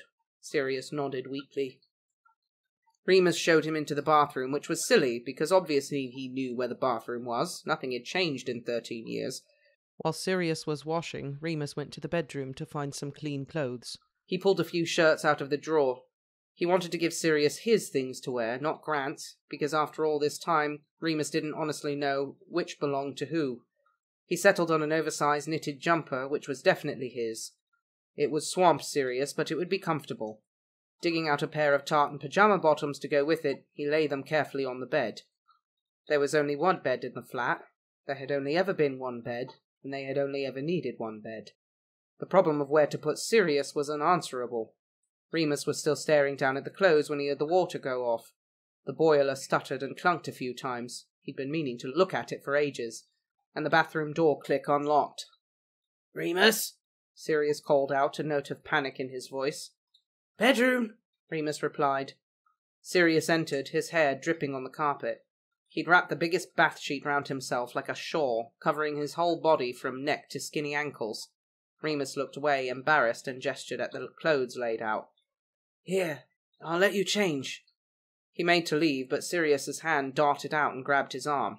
He had that wild look in his eye again. Don't go, he said. Could you stay in the room? Okay, Remus nodded, patting Sirius's claw-like hand. He'd been scratching at it again. It was red raw. Remus turned and looked at the curtains while Sirius dressed himself. His movement sounded slow, like an old man or an invalid, not like elegant, energetic Sirius Black. Fury seared through Remus. They took everything from him, he thought fiercely. Everything that made him who he was. When he turned round, Sirius was sitting at the bed. Remus looked too, trying to see it through Sirius's eyes. The neatly made bedspread, the matching bedside tables, one with a book on top, the other with a packet of cigarettes. I'll sleep on the couch, Sirius said. I don't want to muck up anything between you and, um, sorry, his name's gone. Grant. Grant. Sirius looked away again. His eyes never rested long. He was always searching the corners of the room for something. I've forgotten a lot, I think. That's okay. Remus had never felt a pain like this, and Remus had been feeling pain most of his life. Come and sit down. Cup of tea? Cup of tea, Sirius parroted back. Remus nodded slowly, then led him into the kitchen. Thank you, Sirius said after a little while. Sorry, I. I keep forgetting things. Remus touched his arm gently. It's okay, go and sit. I'll be a minute, you can hear me from the living room. Sirius left silently. Remus breathed a sigh of relief. The atmosphere was still thick with memory and hurt and Azkaban, but at least it was bearable when Sirius wasn't standing right there. Last year in the shack, Remus hadn't had time to feel anything other than terror and joy, and typically he'd spent the rest of his time since trying to pretend none of it had happened at all. Not because he wanted to, but because it was the only thing he could do. He should have known better. He should have known that Sirius always demanded confrontation. He took a long time over the tea, brewing it in a pot rather than the electric kettle. How did Sirius take his tea? He couldn't remember. Maybe he'd never known. Sirius usually made it back then. In the end, Remus simply put out everything, setting up a tray with immaculate attention and care, as if he was serving the Queen. Slice of lemon, little jug of milk, bowl of brown sugar lumps. There weren't any biscuits left. Grant had had the last of the digestives. When it was all ready, he still hadn't had the nerve to carry it through. He panicked for a moment before hearing the door click open. Had it been a half hour already? All right, Grant's brash, overloud Cockney accent filled the flat, warming it instantly. He acted as if it were nothing out of the ordinary as he bustled into the living room, laden with food. Remus could hear him setting it all out on the coffee table, unwrapping cartons of egg fried rice, sweet and sour chicken, chow mein, pork balls, Chinese ribs, spring rolls, all the while chatting away to Sirius. Blimey, don't you look better after a wash, eh? Still got that nice thick hair. Jealous. I'll be bald by the time I'm forty, I reckon. Seen how grey Remus is? Looks distinguished, I tell him, but he don't listen. Fortified, Remus lifted the tray and carried it into the living room. Sirius was sitting primly on the edge of the couch, staring at Grant the way an animal stares at a potential predator. I'll grab plates, Grant said, passing Remus on his way back to the kitchen. He didn't make eye contact. Remus didn't blame him. The situation wasn't fair on anyone, least of all Grant. Remus tried to smile at Sirius, offering the tea tray. Here we are, he murmured. Sirius looked at the tea, the lemon, the sugar, then down at his hands. Are you hungry? Remus asked. Is this all right? Sirius nodded. Lovely, thanks. You shouldn't go through all this trouble. Nonsense. Grant brought in the plates. They sat round the coffee table, Sirius on the sofa, Remus in the armchair, and Grant on the floor. Sirius put food on his plate and picked at it like a bird. He didn't use the forks they'd put out or the chopsticks that came with the meal. He used his hands to eat, tearing everything into small pieces and feeding them into his mouth. Remus and Grant politely ignored it, making light conversation. I'll have to do a proper shop on my way back from work tomorrow, Grant said. Get you a toothbrush, some things like that.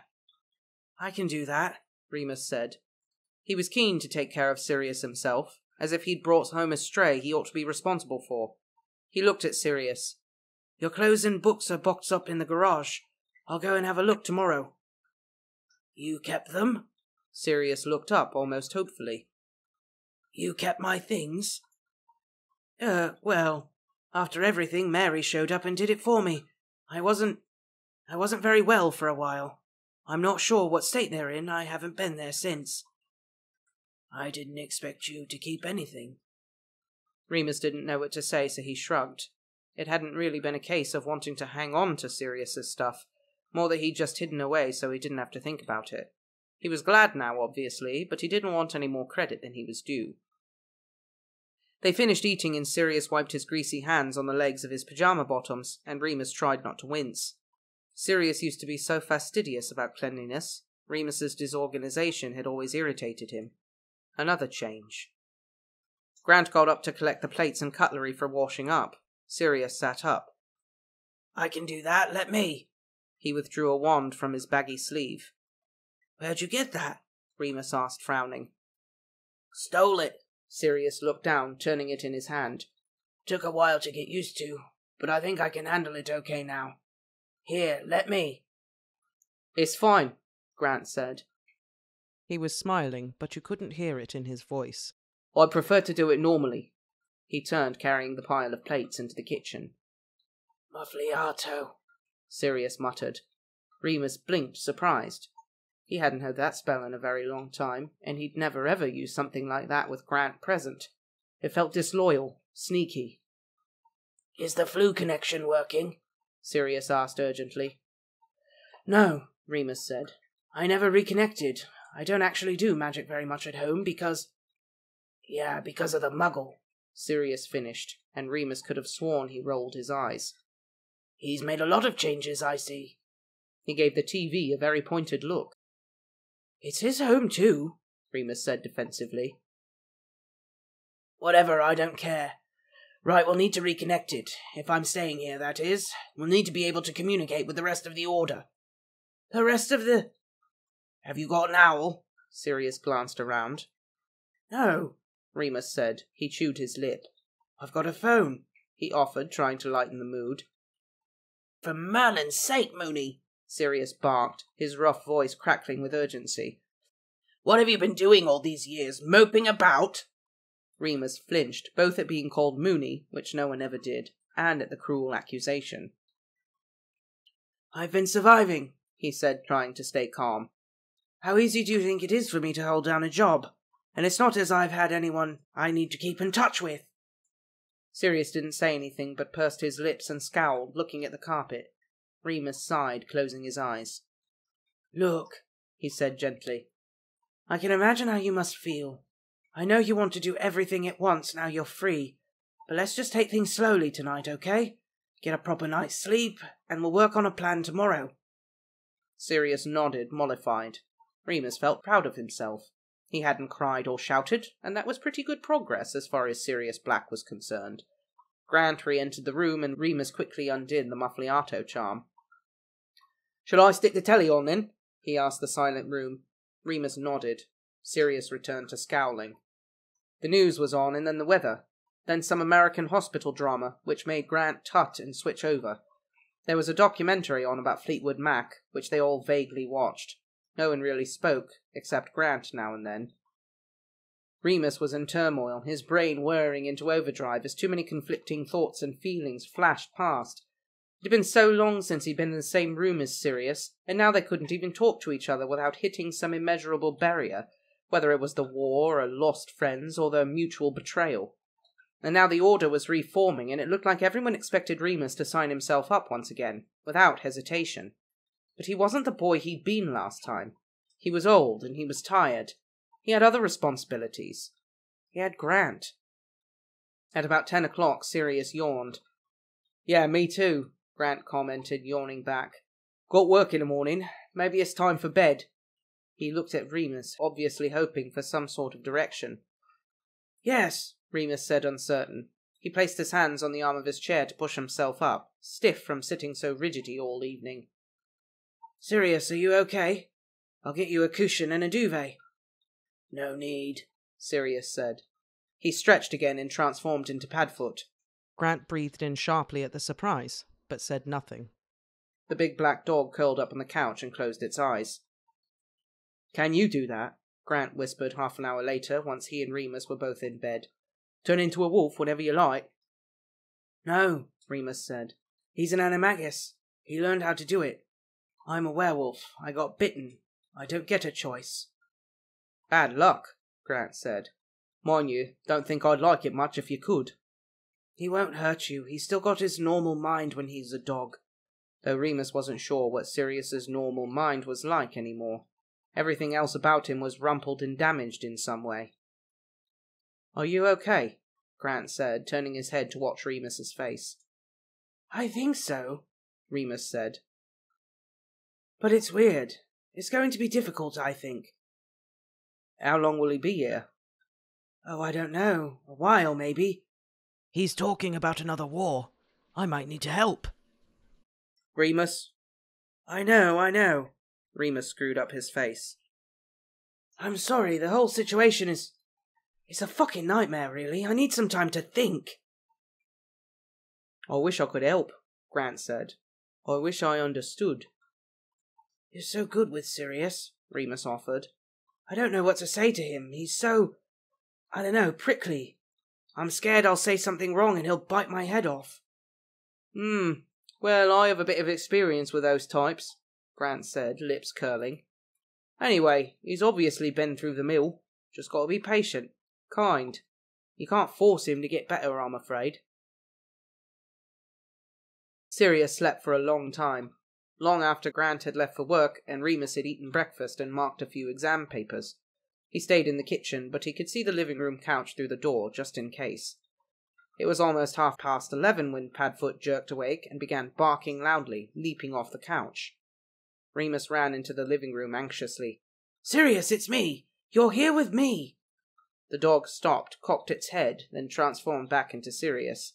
His eyes were wide and his jaw shadowy from stubble. He looked like a mad person. Remus tried to be patient and kind, like Grant said. Sorry, he said, steadying his voice. It's just we're not allowed pets here, and if the neighbors hear you. Sorry. Sirius looked down, embarrassed. You'd think I'd be used to it now. Been out a year. He's fine, Remus shook his head. I'm sorry I shouted. Things stayed awkward like that for most of the day. They went out to the garage after Sirius had eaten breakfast. The door took a few goes to heave open, and Sirius had to stay in dog form while they were out of the flat, so it all fell to Remus. Still, they got in eventually, and everything was very much as they remembered. No motorbike, of course, though all the tools were still there. Sirius's clothes and books were neatly stacked in labelled boxes, without so much as a layer of dust on them. Mary must have done some sort of preserving spell, Remus commented. Sirius nodded vaguely, walking through the piles of relics like an ancient monk. He selected a few things to take back to the flat, or rather for Remus to carry back. Sirius chose robes and wizard's clothes, none of his muggle stuff, not even his old leather jacket, which Remus found stuffed inside a box under some records. He had to resist the urge to bury his face in it and inhale the gorgeous scent, as if the jacket had more of Sirius in it than the man standing next to him. Back at the flat, Sirius changed into the robes at once. Remus could see why. He looked much better already in his own things, having had a few good meals and a proper wash. His hair was a bit scraggly and still had knots in it, despite the fact that he'd clearly used half a bottle of shampoo on it. He slept again after lunch. Remus didn't see how, he'd only been awake for a few hours. Still, despite Sirius's inability to stay still, he exhausted easily. He curled up on the couch again in the nest of blankets he created, and Remus sat down with him with the TV on very low.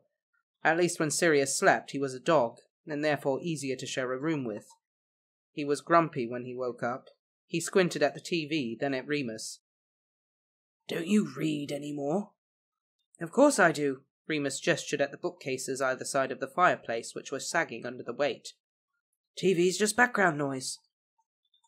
Sirius grunted, sitting up and straightening his clothes. He ran his fingers through his hair and they got caught. He winced. Do you want to try washing it again? Remus asked. If you put loads of conditioner on, then comb it through, that might help. He remembered Grant telling him that about two brothers who'd come into the remand centre. They'd been neglected and had never had their hair cut or brushed, and they were frightened of the clippers. Grant remembered Matron's brutal buzz cuts, and he immediately promised them he wouldn't cut their hair. He'd spent hours gently combing it through instead, and his hands were wet and cold for so long his eczema flared up and his palms were rough and chapped for weeks. Sirius seemed to appreciate the suggestion, so Remus went to run the bath. Sirius followed him. He didn't want to be left alone at all, even if he didn't want to talk. Remus rooted around in the medicine cabinet for a good strong comb and some scissors, just in case. He set them on the edge of the bathtub and stepped back. Uh, shall I leave you to it? he asked as the bath water steamed gently.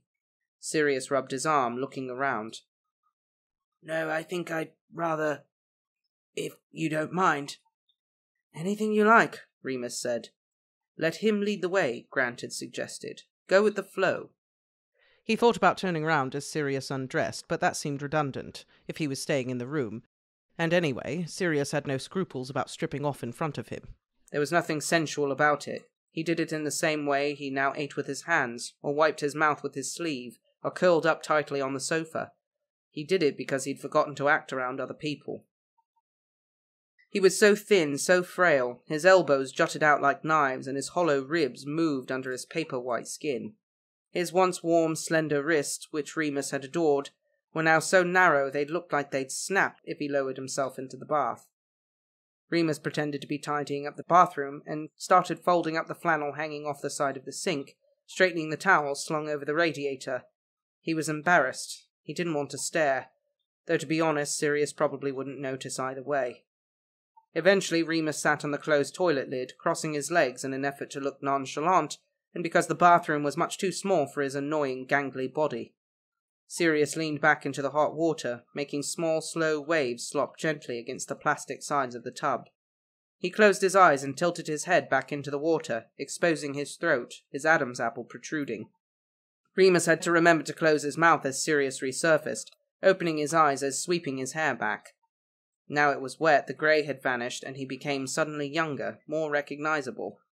He started lathering his hair with the shampoo, sitting up, leaning forward, Remus watched his bony white fingers clawing through the foam and remembered how graceful Sirius had been as a young man, how every moment was perfectly weighted, how he used to treat his own body with such tenderness. The steam from the hot water stung Remus's eyes, and he had to blink away tears. Sirius rinsed out the shampoo, then started on the conditioner, using loads of it. Remus would have to buy more. We ought to make a list, Sirius said abruptly. What? A list, Sirius said, picking up the comb. We ought to make one. People to get in contact with. For Dumbledore. For Dumbledore, Remus repeated. He suddenly felt very tired. Yeah, he said get in touch with the old crowd. Only my memory's shot, so you'll have to help. The names, you know. He tugged the comb through his knots hard. You really want to go right back to war, don't you? Remus said. Sirius turned and gave him a look of disbelief, and with a horrible sinking feeling, Remus realized that in Sirius's mind, the war had never ended. Look, Remus tried to explain. It's not that I don't believe in the cause, it's just. I remember how it went last time. As if I don't, Sirius hissed, yanking at the comb in his hair. I haven't been on holiday for twelve years. No, I know, but Remus wished he'd stopped saying it like that. Twelve years. What forgiveness could there ever be for that? It's all we can do, Sirius said fiercely. It's the only thing that matters. He raised the comb again, looking as though he were about to stab himself with it rather than groom himself. Remus couldn't stand it. Stop it, he said, getting up. You'll rip all your bloody hair out. Come on, let me do it. He rolled up a towel and put it on the floor to kneel on, grabbing the comb out of Sirius's hand. Sirius looked at him warily for a moment, and Remus realized that they had not been this close yet. They had hugged in the shack a year ago, but that had been pure adrenaline. It had not been intimate. This was. May I? Remus asked, softening his voice. Sirius nodded slowly, then turned his head so that Remus could reach. Leaning in, not too much, Remus began to work, sliding his fingers carefully through the slick black locks, gently easing the comb through in sections from the bottom up. Slowly, slowly, the knots began to loosen, giving way to that familiar old silken texture.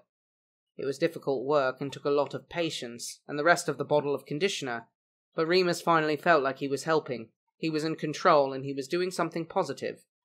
Sirius was so quiet and still the whole time, tense at first, but gradually relaxing. Bit by bit, Remus could practically see his tendons slackening. Once he was finished, Remus leaned back to survey his work. The muscles in his back ached like they were on fire, but it was worth it. He stood up shakily, a hand on the sink. Sirius raised his hands, moved them gingerly over his head, fingers skimming the smooth surface. Thanks. Any time. Remus smiled, sitting back on the loo seat. Sirius rinsed his hair a few more times, then climbed out and dried himself, getting dressed again. Remus expected him to look at himself in the mirror, but he didn't. He purposefully avoided it, keeping his eyes down. Back in the living room, Remus made them tea and some cheese on toast, because he wanted Sirius to eat as often as possible. He expected Sirius to fall asleep again, but he didn't. He took some paper from Remus's pile of exams and flipped it over, picking up a biro, too. Okay, he said. Moody, obviously top of the list, after he's recovered, of course. Wait till you hear what happened to him at Hogwarts. Then there's the Weasleys, and Mary. No, not Mary, Remus said. She won't. She's settled down now. She's got kids. And the Weasleys, they've got seven kids, Sirius. You can't ask that of people. I don't need to, Sirius said sharply. They'll do what's right. I can't see it that way, Remus said. All I can see is the cost of another war. We don't have a choice. I know, I know. I just want us to think before we. What's happened to you, Remus? This isn't like you. You're supposed to be a Gryffindor. That struck a nerve. How dare he? Quite a bit has happened to me, actually, Remus said acidly. I lost everyone I ever cared about in the last war, so forgive me if I'm not thrilled about marching straight to battle again. I'm not twenty-one anymore. Sirius shook his head, still unable to comprehend. We owe it to them, to Lily and James. I don't owe them anything, Remus shouted, his face burning with anger. Maybe you feel like you do, secret keeper, but if you recall, I wasn't fucking consulted on that one. He didn't know why he said it, it all just came tumbling out before he could stop himself. He hadn't realized how angry he really was until that moment. Clearly, Sirius hadn't either. Moony, don't you dare call me Moony. Don't act like we're still. like nothing's changed, like everything's fine, and I'm just going to do everything you say. He stood up. He needed to get out. He needed a break. He turned on his heel, heading for the door. No, Remus, please! Sirius cried out, his voice so taut and strangled it frightened Remus. He turned back. Sirius stared up at him from the couch, so small and wide-eyed. Please don't leave me alone, he said. Remus relented, his temper draining away to nothing. He returned to his armchair and sat down again. He pursed his lips. He rubbed his eyes. I won't, he said wearily. I'm not going anywhere. Chapter 186 Summer 1995 Grant Mr. Chapman, we are very pleased to extend the following offer of employment to you on behalf of Brighton and Hove City Council. Social worker, child and youth welfare. Please see the attached brochure for details on your salary and working hours. You have 30 working days to respond to this offer by either post or telephone. We look forward to hearing from you. A.P. Green, Head of Social Services, Brighton and Hove. Grant read the letter three times just to make sure. Well, he really ought to be happy, thrilled. This was amazing news, news worth celebrating. It was one way out of the mess he currently found himself in, anyway. He shook his head, feeling terrible for thinking of Remus's life a mess, even if that was a little bit true. He'd gone down for the interview a few weeks ago, telling Remus he was working late. Not that he wanted to hide anything from Remus, more like he just didn't want to jinx things. Grant wasn't a very lucky person, generally. Stuff like this never, ever happened to him. Grant didn't believe in God, or guardian angels, or Buddha, or Brahman, or anything other than his own willpower, but something about this job offer smacked of divine intervention. This was his dream job, after all. Perhaps this is the sign he was waiting for, as if old ex-boyfriends returning from prison wasn't enough of an omen. He'd been toying with the idea of moving for years. Grant loved London, it would always be in his blood, but they were both in their mid-thirties now, and maybe it was time for a change. He wanted Remus to get out to the countryside, to fresh air and sea and space, a fresh start away from that miserable little flat, so when the position came up and Grant's manager mentioned it to him, he leapt at the chance. Of course, that was all before Sirius came back. Grant reread the letter again from the top. He stared at his name, in official black and white printed text. A letter with my name on it, and it's not even a court summons, he joked to himself. He wished he could show his dickhead grandfather, show him what Nancy boy delinquents can amount to when they put their minds to it. He was proud of himself, and no matter what the situation was right now, he knew Remus would be proud of him too. He wished he could tell him straight away, but Remus was out, and Grant was hiding in the bedroom from Sirius.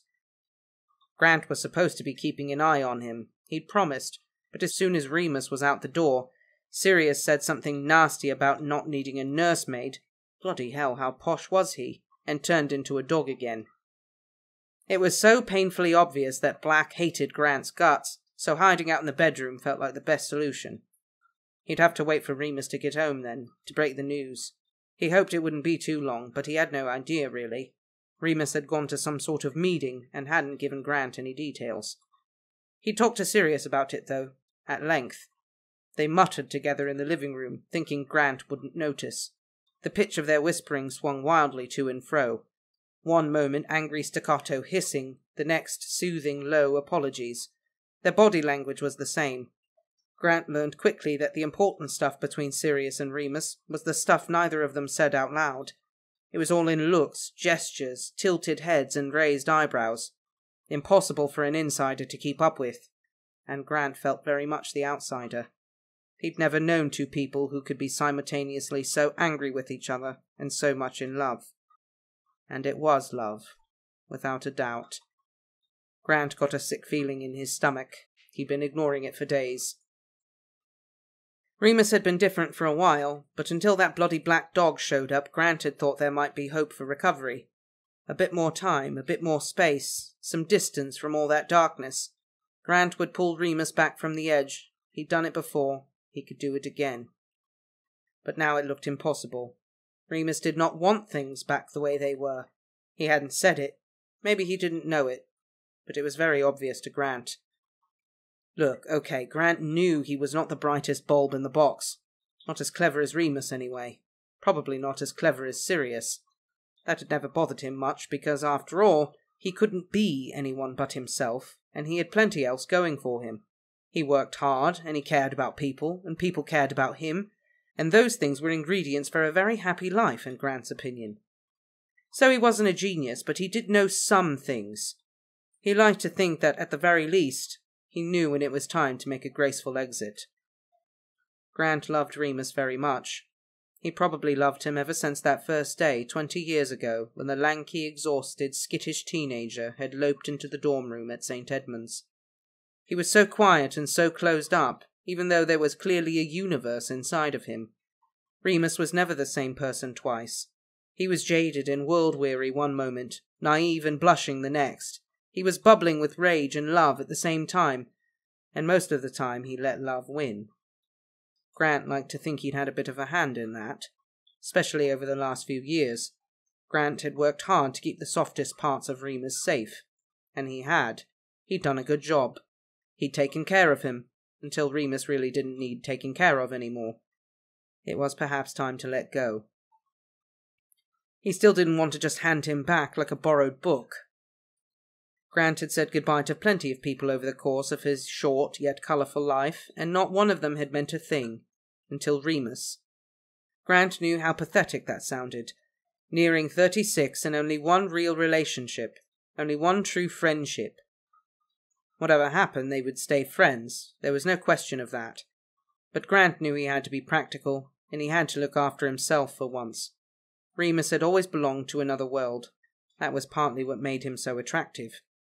The time had come for Remus to go back where he belonged, and though Grant knew that for a while the absence would hurt, it was completely necessary.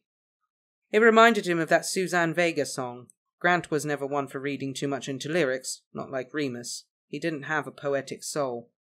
But when the Solitude Standing album came out, and it had been all over the radio, and Grant quite liked it. He always meant to buy the album, but never got around to it. She had a haunting voice, and this one particular tune was ghostly and strange. Then Remus had told him what it was about, and he hated it. He didn't usually like fairy tales. Having recognized his sexuality at the age of six, the idea of brave knights rescuing damsels in distress had never inspired him much. But something about Calypso really struck a nerve. He knew he wasn't a siren, sitting on the rocks jiggling his tits at passing sailors, but he knew Remus. He knew Remus inside and out, He'd seen the change in him since Sirius came back. At first, Remus had clung to Grant as his protector, which made sense. A bit of regression was probably to be expected, and Grant had always done his best to be solid ground for Remus. But after the stress of the first few days had passed, Remus and Sirius had both relaxed a little bit, and everything was different.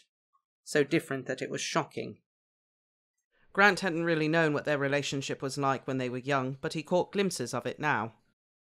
The way Remus stared at Sirius, as if he was the most gorgeous creature on earth, the heat in his eyes, the way his tongue played at the corner of his mouth like he was daydreaming something utterly filthy.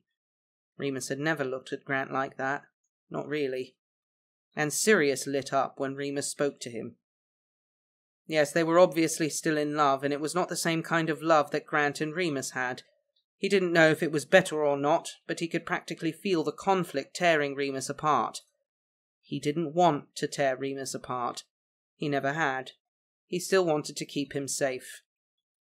And there was Sirius himself, prim and poisonous, lurking like a spider all the time, glaring daggers whenever Grant entered the room. He made his feelings perfectly clear, and it made Grant indignant, made him want to fight all the harder to keep Remus. But it wasn't up to Grant any more. Remus was going somewhere Grant couldn't follow him. They'd reached a crossroads, and it was all very clear. Maybe the letter really was an omen. He conjured up the image he'd been toying with, of him and Remus in a house by the sea, reading books and eating breakfast in bed and going for walks into town. Getting older, making new friends. If they had a big enough house, they could begin fostering. Grant had been interested in doing that for years. He wanted to take care of kids no one else wanted, and if he was going to be a social worker, then he'd be a perfect candidate. He let the fantasy wash over him one last time, and then he began to dismantle it. Because deep down, Grant knew that Remus would never have left London anyway, and Remus would never want to foster children. He'd be too afraid he'd hurt them on a full moon. That future had always been a bit of wishful thinking. It was more about Grant than Remus. It was time to stop worrying about Remus and what Remus needed. That wasn't his responsibility any more. Perhaps there would be someone else for Grant. He hoped so. He would never stop looking. Perhaps someone would want to keep him safe for a change. Stranger things happened at sea. The decision was made. Grant wrote a formal response accepting the job offer. He'd post it on his way out. He began to pack quietly, hoping that Remus wouldn't come home until he was finished. There was so much to do, but at the same time, not a lot. Grant found himself surprised by just how easily the plan came together. He had his own bank account, and he didn't have any stake in the flat. He could stay at his aunt's pub down in Hove until he found his own place to live. He even had friends in Brighton, from where he'd lived as a kid. Easy peasy lemon squeezy. So once he'd packed, he'd just need to say goodbye. He hoped he could say it the right way, it not sound bitter or self pitying. He hoped Remus would understand that Grant would always be there if he needed him. He'd come running in a heartbeat. At the same time, he hoped that Remus would not need him. He hoped that he was leaving him in safe hands. Finished packing, Grant sat on the bed. He could hear the TV in the other room, up a bit too loud. Sirius left it on all night sometimes, and it woke Grant up but if he went to turn it off, that hideous black dog would wake up and start growling at him in the dark. Probably a trauma thing. Grant didn't blame Sirius, but he wished he didn't have to manifest like that. Could he really trust a man like that to take care of anyone? Grant's heart ached as he imagined Remus, sweet, serious, sensitive Remus, being treated like a mental punching bag. He would just put up with it. Grant could tell. Remus felt so guilty about Sirius's imprisonment that he was willing to take all sorts of abuse for it. But that wasn't right. Grant stood up. He had to do one more thing then before he could leave. He had to talk to Sirius. Chapter 187 Summer 1995 Sirius Sirius sat curled up on the couch, his arms round his legs. He was watching television. It was a bizarre Muggle invention, a bit like the cinemas he'd been to in his youth, only smaller. Oh no, oh no, that brought back a memory of James. That summer they'd gone to see the same film every day and met those Muggle girls. Had it been summer or Christmas? It might have been raining and someone punched him. James or Remus? Surely Remus. James was never violent, even when Sirius really deserved it. Sirius shut his eyes to drown out the cold, cruel voices in his head which wanted to drag him back through time, back to the very worst moments. He thought he could taste blood, but when he opened his eyes again, all he saw was the living room and the silly talking muggle box. It was his living room, or it had been once. It looked different, and Sirius had a hard time working out whether it was different or he was just remembering wrong. The walls hadn't been repainted, the fireplace was there. It didn't stink of cigarette ash anymore, but there was still a burn mark in the carpet under the window sill. Had that been there before, or had it happened in the years between? The TV was the worst change, the most noticeable. Sirius had a strong memory of arguing against having one, a long time ago. Noisy, ugly muggle light boxes. He still thought it was awful, but somehow he couldn't bring himself to stop watching him. It distracted him. It was a break from thinking, from remembering. He'd spent too much of his life remembering, turning over events, over mistakes and half understood conversations, sifting through it all again and again until everything in his head was shaken loose in tiny fragments, no structure or narrative. He didn't want to sit and think any more. He wanted to act. He wanted to do. And no one would let him. He huffed, shifting position, tightening his grip on the arm of the couch. Remus had been invited to a meeting, and Sirius had been told to stay at home with the muggle. It would have been fine if he'd gone as Padfoot. He knew it would have, but no one would listen. They were treating him like a loose cannon, like someone who needed to be contained. As if he hadn't spent a whole year alone looking out for himself without any help from anyone. He wasn't going to be treated like a kid. He wasn't going to let them. Hadn't he earned his place? But Moony, Remus, had given Sirius that pained, pleading look, and it shut him up. He hated making Remus uncomfortable. It made him worried he would never get better. He knew he wasn't right in the head, he knew he was going about things all wrong, and he was not himself. But Sirius had hoped a year would be enough. He was out now. He was free. Everyone who mattered finally knew the truth. It would make a difference. He should be normal again by now. Remus wasn't helping, Sirius thought darkly. How could he get his head straight when everything was so weird? Remus, his only friend left, could barely look at him without wincing, could barely speak to him without trailing off, glancing away and the boyfriend. Sirius wondered how quickly that had happened, how soon the muggle had wormed his way in, infected Remus with his mundanity, made his Moony quiet and cautious, no better than a muggle himself. It was like a light in Remus had dimmed. Sirius looked for the signs of the old Moony, but there was none of that wicked, mischievous energy, that blistering strength of Remus Lupin when he had an exciting plan, it had taken Sirius ages to convince Remus to just go to the meeting. In the end, he had the impression Remus only went as a favour to him, to keep him calm. That was fine as long as he went, and when he got back, he would tell Sirius everything. Sirius would make him. It was the least Remus could do. Remus would come around. He would see there was no other way. He would want to do it for Harry. Sirius couldn't help smiling to himself, thinking about Harry. That incredible, brilliant, brave kid. James would be so proud. James. James, I'm so sorry. He shuddered, shut his eyes again, bracing himself against the cold. He wanted Remus so badly. He didn't want to be alone. Not again. Please. All right.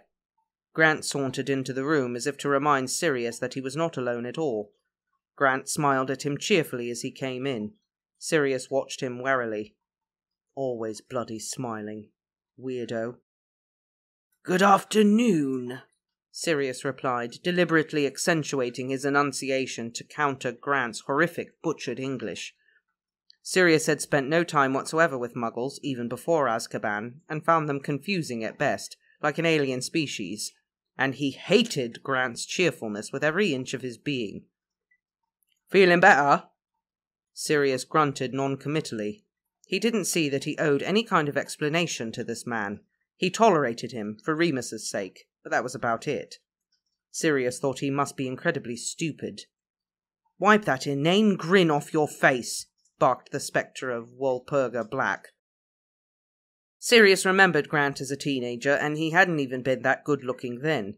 Fifteen years hadn't improved on his hairline or his skin. Sirius had no idea what Remus was still doing with Grant at all, and if he was as stupid as well as plain looking, then Sirius was even more baffled as to why Moony would want him around. The Remus he knew, his Remus, would never suffer a fool. When he gets back, Grant was saying now, still cheerful, still smiling, showing crooked teeth and a white scar in the corner of his mouth. I'll go. Oh, okay, Sirius shrugged. He searched for something to say. We need milk. No, Grant chuckled, shaking his head lightly. He sat on the coffee table directly opposite Sirius, so close their knees almost touched, and looked him in the eye. I'm not popping out to the shop. I mean, I'm leaving. What? Sirius frowned. Why? Did Remus tell you to? Because it wasn't my idea. It's my idea, Grant said, no longer smiling. He had tired eyes, and Sirius realized that though Grant was smiling, he wasn't happy. He was very, very sad. Sirius didn't know what to do about it. He had his own problems. Grant kept talking. I realised it a while ago. When he came back from the school, all shook up from seeing you again. I think I must have known then. Should have called time, but I just couldn't leave him alone.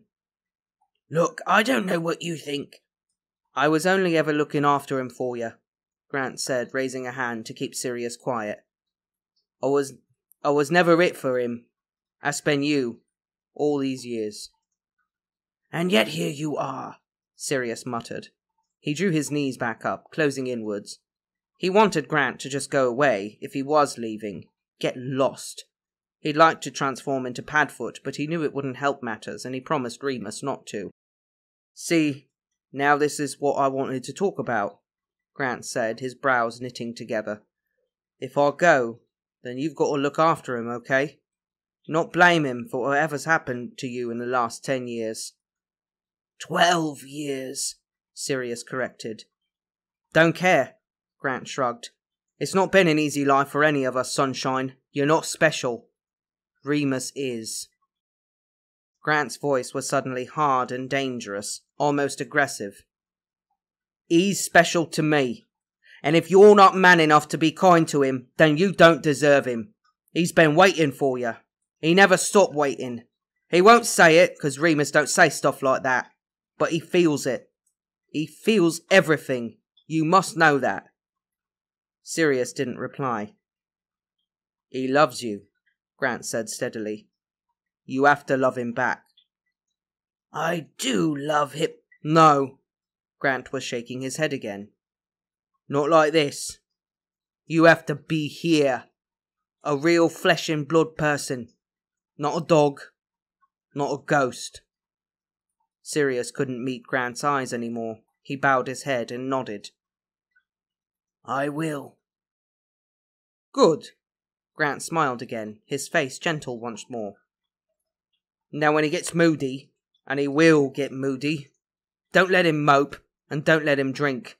He'll want it after a full moon, but it only takes him longer to get well again if he does. I know what he needs after a full moon, Sirius growled, affronted. I've known him since I was eleven. Who do you think you are, telling me? I'm the one who's been here, Grant returned shortly. I don't think you know how hard it's been. I don't think you. Look, you had him at his best, okay? I had his worst. He smiled a little and I was glad to do it. I have one part of him, you have the other. Can we agree? Sirius stared at him a bit longer. Grant held out a hand to shake, and Sirius took it. Okay, he said.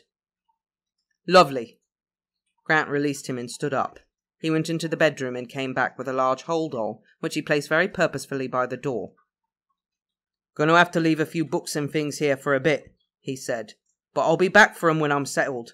Suppose you don't need a key, eh? Can you get in the magic way? Sirius nodded, struck dumb. He couldn't believe this was happening. He wanted his heart to soar. He wanted to feel finally satisfied. But he couldn't help worrying. Grant had been a nuisance, but he'd been a buffer, too. Would Remus blame him for it? Would he convince Grant to stay, or even worse, would he leave Sirius here, alone with the flat and the war and there was a quiet shuffling noise outside the front door, and Sirius's ears pricked. Remus was back.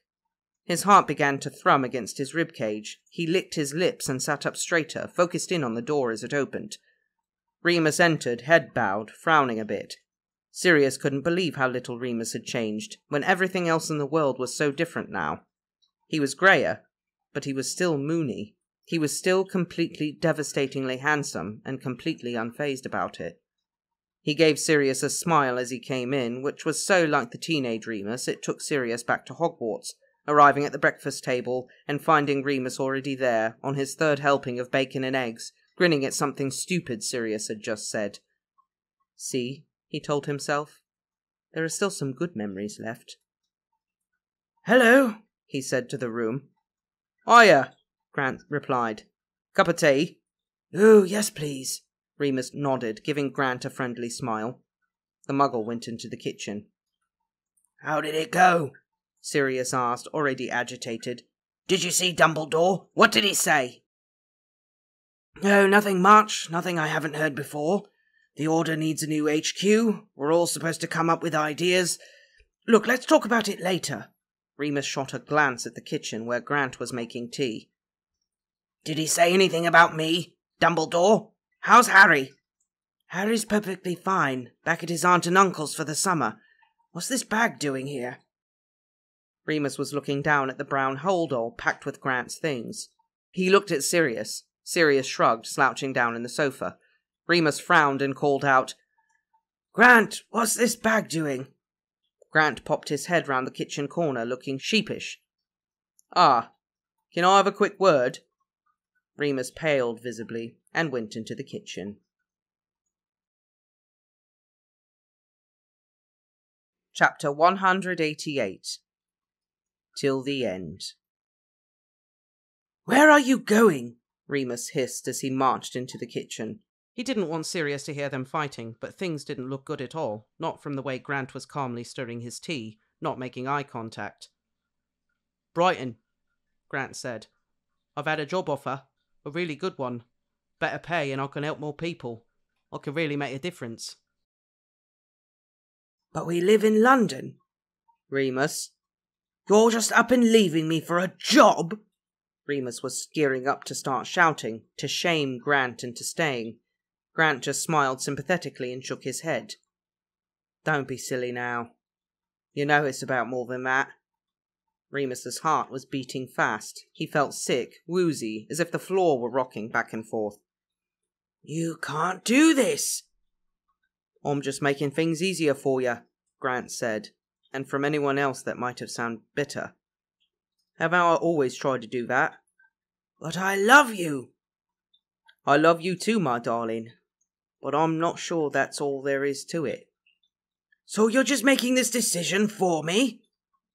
I'm making a decision for me, Grant said very firmly. He looked at Remus now, dead in the eye, and Remus could see there would be no more arguing. Sirius needs you now, and you'll go to war, because that's who you are. You're mad and brave and incredible.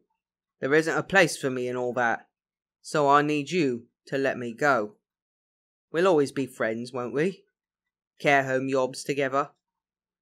Remus wanted to wail, he wanted to fall to his knees and clutch Grant round the waist and hold him there forever, to beg and plead. He knew that was selfish. Grant was right. Remus had already decided to rejoin the Order. He had decided the moment Sirius returned. It wasn't fair to keep Grant around for that. It was downright dangerous. But he needed him. Oh, he really, really needed Grant. Remus wasn't sure he could do it all alone, not with Sirius the way he was. You'll break my heart if you go now, Remus said, aware he sounded sulky and petulant. Grant shook his head lightly, holding his ground. I'm sorry, love, but it's breaking my heart to stay. And in an instant, Remus understood. He saw Grant properly for the first time.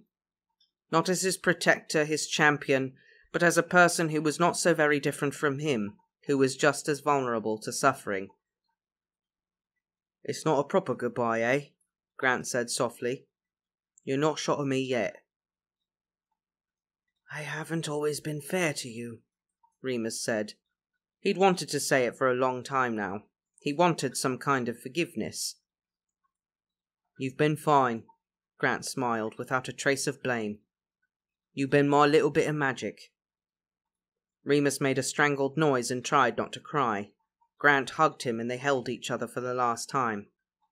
Grant left Remus in the kitchen with two cups of tea, one for Remus, one for Sirius. Remus stood in silence and waited for the door to go. He heard it shut. He covered his mouth with his hands and closed his eyes. He breathed in and out for a few moments, then walked into the living room. Sirius was still on the couch. He looked anxious, rubbing his hands together. Remus, I. No. Remus held up his hand, shaking his head. No, I need a minute.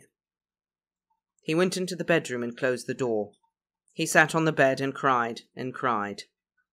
Once that was done with, he washed his face and went back to Sirius. There was much work to do.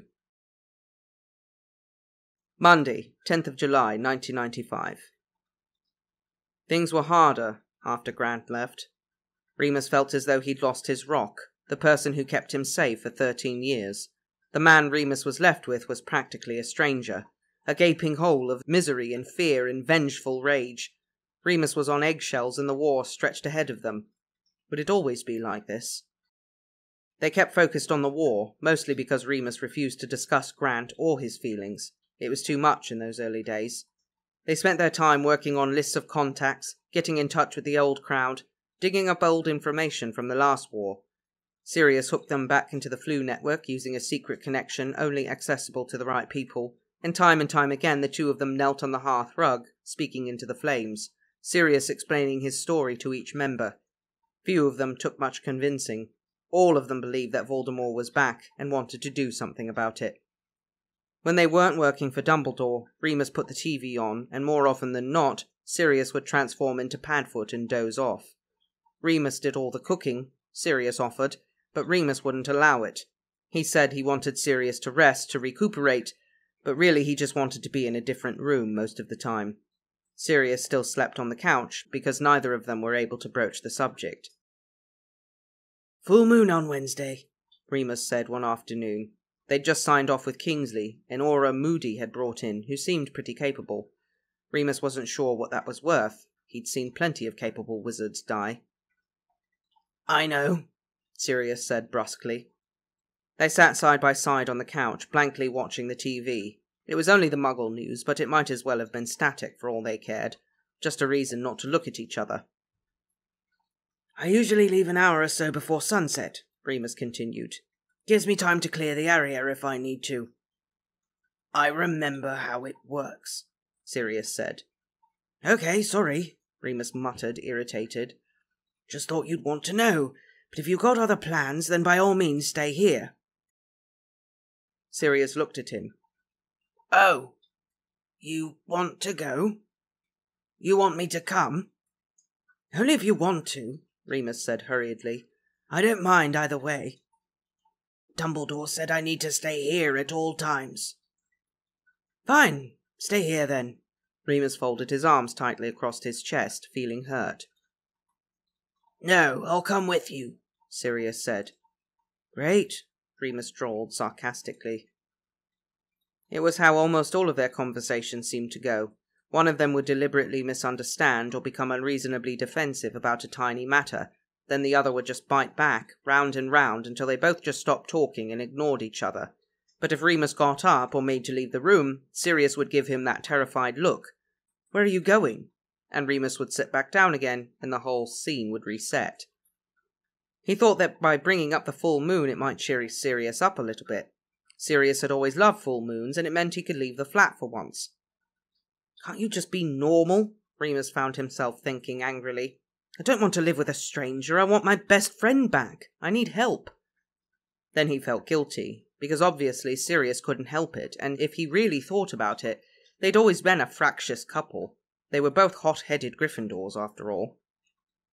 Still, Sirius may not be a complete stranger, but he certainly was strange. Had he always been so watchful, so quick to anger, or had Azkaban done that to him? Or, worst of all, was it all Remus's fault? Without Grant there, Remus began to wonder whether he seemed different himself. Perhaps years of living like a muggle had made him less interesting. He was slower than he had been as a teenager, more cautious. He rarely laughed. It was stupid, but Remus even worried about how he looked. He'd never been a vain person. He'd always been very ordinary looking, scarred and a bit gangly, even when Sirius had known him. But at least back then, Remus had been young. Now his hair was grey all over, only a few strands of the original mousy shade left. He had more scars than ever, and sometimes he still smoked, which made him cough like an old coal miner. He was so much less than he had been before. This isn't going to work, is it? Sirius said abruptly, breaking Remus's thoughts. No tact. Once he'd been so silver-tongued he could talk anyone into anything, could reel off dirty jokes like they were romantic poetry. But now everything Sirius said was sudden and blunt and full of raw urgency. What isn't? Remus asked, shaken. He kept his eyes on the TV. This. You and me, in the same room, trying to act, trying to be okay with each other. After everything that's happened at 14 years, it's just going to be too much. Remus finally turned to look at him, ready to be annoyed again, but found that Sirius was staring at his hands, twisting them hard in his lap so that the skin pulled and his knuckles whitened. He had scars too now. He didn't look so old and strange then. He just looked at Sirius, and he was frightened. Oh, I don't know, Remus said softly, he reached over and stilled Sirius's hand with his own, weaving their scarred, bony fingers together. He caught his eye and smiled encouragingly. You were always too much for me. I never minded. The look of relief which flooded Sirius's face was worth every moment. It was an entire lifetime. He raised Remus's hand to his lips and gently kissed the inside of his palm. They returned to the TV after that, but kept holding hands. Thursday, 14th of July. Thankfully, the full moon was a welcome change of pace. They apparated to the Brecon beacons together and both transformed on a mountainside. The wolf was thrilled to be reunited with its old companion, and they spent much of their time chasing foxes through the grasslands, running together for miles and miles. They were better together in their canine bodies, more natural, more at ease, Perhaps the lack of inhibition, or perhaps the bond forged between them as dog and wolf, was not as easily broken. When Remus turned back at dawn, Padfoot licked his face gleefully, nuzzling into him, and Remus laughed, for the first time since Sirius had returned to London. They were still smiling when they got back to the flat, and it felt bigger than before, less of a cage.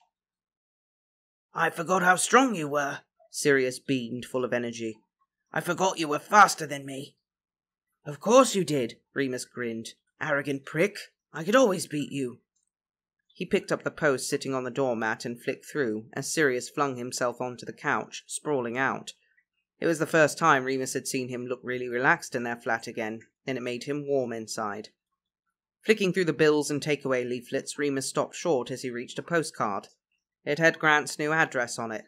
Nothing else, just the address neatly printed. The needle sharp sting of regret hit Remus, and he sighed heavily. There was no phone number. Either Grant didn't have one yet, which seemed very unlikely as he was barely off it normally and needed one for work, or he was telling Remus not to get in touch. What's up? Sirius said from the couch, ever watchful. Nothing. Grant's new address, that's all. Remus put it on the mantelpiece. I really need a lie down. I think I'll go to bed. He downed some painkillers, only the over the counter stuff, nothing exciting, and went to sleep. Luckily, that was easy enough after a full moon. When he woke up, the bedroom felt cold and empty. It was long after midday, and he could smell bacon cooking, the salty, savoury scent wafting its way through the flat. He got up and followed the scent into the kitchen, where Sirius was standing over the hob, agitating a sizzling pan of bacon and eggs. He turned, seeing Remus, and smiled. Thought you'd be hungry. You're always hungry. Yeah, Remus nodded, yawning and scratching his head. Cheers. Remus made the toast quickly using his wand. He was getting back into the habit of using magic again, now that his last ties to the muggle world had been cut. They sat at the table in the living room, and Sirius even made an effort to use a knife and fork. Remus smiled at that, remembering James and Sirius's impeccable pure blood table manners. He will come back to me, Remus told himself as Sirius buttered his toast daintily. Bit by bit. The postcard from Grant was still sitting up on the mantelpiece. The image on the front was of Brighton Pavilion. I better start boxing up the rest of his things, Remus said, thinking out loud. Find a way to get them to him. He said he'd come back when he was settled, Sirius said unexpectedly. Oh, Remus blinked. Did you talk then? A little bit, Sirius shrugged, faking nonchalance. Just to say goodbye. He told me to look after you. Oh, I see, Remus said quietly. Well, sorry about that. That wasn't his place to say. He very much wanted to keep these two halves of his life separate. No, it was okay, said Sirius. They were quiet for a bit and eating, and then. When did it happen? Sirius asked, back to his sharp abruptness. When did what happen? You and him. How soon after? After I went to prison. Remus set down his fork. Why are you asking me that? I'm just trying to fill in the gaps, the stuff I missed. Something inside Remus grew hot and fierce. I don't see what Grant has to do with any of it. Do you want a list of everyone I've shagged since you've been gone? Sirius breathed in sharply at that. No, of course not. Well, then, leave him out of it. He's gone now, that's that. I shouldn't have asked. I just thought. I never cheated on you, Remus said, hardening his voice. So you can stop wondering. I never ever betrayed you, even if you think I did. Sirius frowned and looked down at his food. You are still angry about that, then? I don't want to be, Remus said. I don't want to be, but I am. You thought I was a spy, Sirius. You thought I would try to hurt Lily and James. You thought I would try to hurt you. I was confused, Sirius said, his voice small. Everything was such a mess. Everything was so difficult. And no one knew anything. No one trusted anybody. I remember, Remus snapped. I was there. I still trusted my friends. Sirius kept staring at his food, but Remus wasn't finished. This had to come out eventually. He knew how it felt to leave things unsaid. Do you know how stupid I was? Do you want to know how completely dense I was in those last months? I thought you wanted to break up with me. I wanted to come back from the pack and see if we could make things up. It never crossed my mind that you thought I was a. I mean, fucking hell, Sirius. I loved you. Remus, I loved you and you left me with nothing. Do you understand? I had nothing except a lot of scars and a drinking habit, so don't start interrogating me about the bits of my life I've been able to put back together. Remus stood up and paced, the last of the full moon still hot in his veins. He stood by the window. He wanted to smoke, but he'd learnt by now not to give in to those kinds of urges. The kind that felt good, but would probably kill you in the end. The kind of urges he got when Sirius was around. I'm sorry. Sirius's voice was still very small. He was hunched forward, his hair in his face. Pitiful. Remus felt terrible, even though he knew he deserved an apology. He hadn't meant to be hurtful. For fuck's sake, he scolded himself. Why can't we ever get this right? No, I'm sorry, he said, steadying his voice, remembering to be understanding. I didn't mean to be so. I understand. I swear, Mo- Remus, sorry. I swear I thought about you every day. What you must think of me. What you must have heard. I was the stupid one, not you. I should have trusted you. I should have told you about Wormtail being made secret keeper. I mean, bloody hell, we should have made you secret keeper. And when I went to Godric's Hollow that night, I. I just lost it. I would have done the same, Remus sighed. I'd have killed Wormtail. Sirius, I'm sorry too. I wish I hadn't believed them. I wish I'd tried to investigate, done something to help you. I was just in such a state I barely went out. I was never sober. That stuff's all my fault. And that's why I needed Grant. Sirius nodded, forlorn, still sitting at the table. It was too much. The air was too thick. Here, are you finished? Remus asked, needing a subject change. I'll do the washing up. Thanks for that, it was perfect. He cleared up the plates and took them through to the kitchen. He folded up the last of Sirius's fried egg in a piece of toast and scoffed it. Waste not, want not. Sirius came in just as he was chewing. Same old Remus, he snorted, finishing everyone's food. I know, Remus laughed, slightly abashed, turning on the taps. Grant used to call me the Human Refuge Unit. Once he ordered a set meal for four from the takeaway downstairs, but got stuck in a work call, and by the time he came back, I'd eaten a lot. Sirius took this anecdote pretty well. He came to stand beside Remus and took up a tea towel so he could dry as Remus washed. They did this in companionable silence for a while, but Remus knew Sirius was building up to something. His body was giving off that agitated energy that Remus recognized from long ago. Were they going to have a fight again? He hoped not.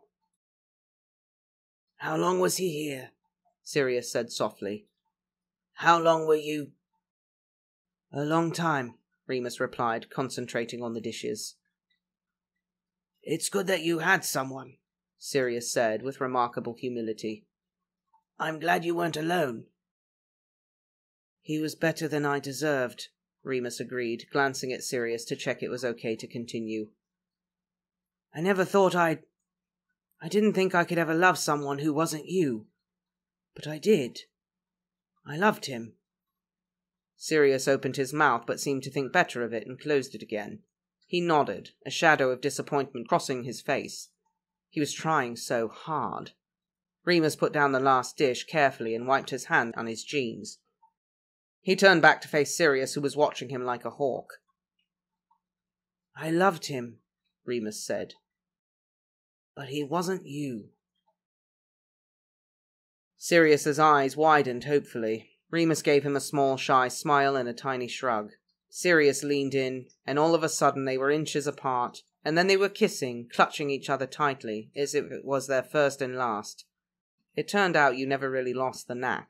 Like an unbroken spell, Remus felt every moment come flooding back to him as vividly as though it were yesterday.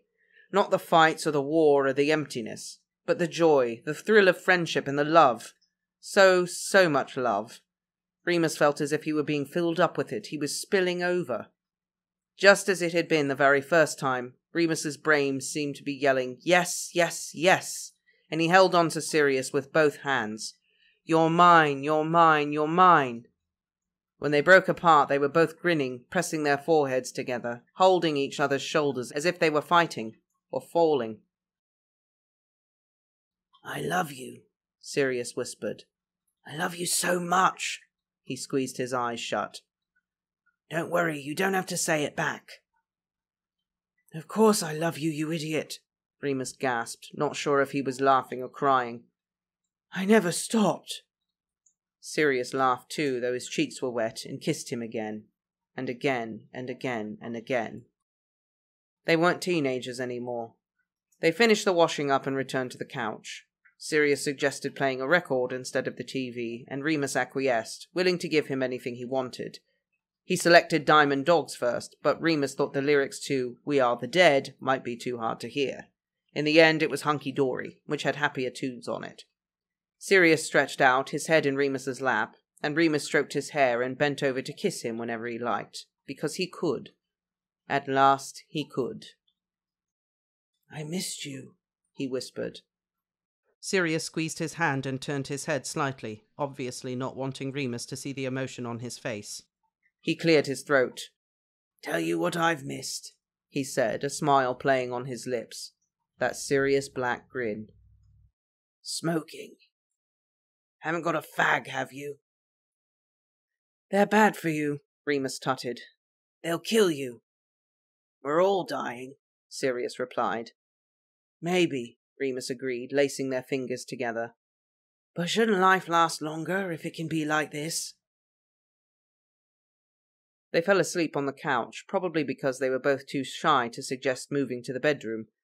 Remus awoke to birdsong in the early hours of the morning, still upright, stiff, hips aching, the warm weight of Padfoot in his lap.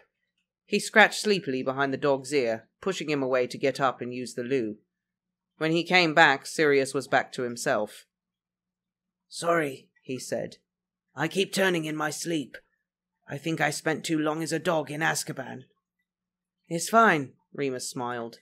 I don't mind at all. He stretched. What do we need to do today? Is there anyone left on the list to talk to? No, we've done everything, Sirius said. Except find a new headquarters. Hey, I had a thought about that. What about that old church you stayed in with the werewolves? Oh, that. Uh, no, probably not a good idea. Greyback knows where that is. He's still around then. Mm-hmm. Tea? Please. Remus went into the kitchen and Sirius followed him, still talking. I just thought that would be good because it's the middle of nowhere, so I could be there too. I hate the idea of you having to go off to meetings and me staying put. Don't you like it here? Remus raised an eyebrow. He loved his little flat. Other than Hogwarts, it's the only place I've really felt at home. Oh, Remus. Sirius squeezed his arm. You've gone all soft in your old age. Piss off, Remus snorted, giving him a light nudge with his elbow. We didn't all grow up in mansions. No, but. Hey! Remus, that's it! Sirius was shaking his shoulder now, jogging Remus as he tried to pour the milk. Oi, watch it! What? My mansion. Or it's mine now, anyway. My parents are both dead. I'm the black heir. The house will answer to me. Oh, I see. Remus frowned, turning to look at Sirius properly. Are you sure? I mean, you really want to go back there? Well, no, obviously I don't, but it's probably one of the most protected houses in Britain. The Blacks took Home Security really bloody seriously.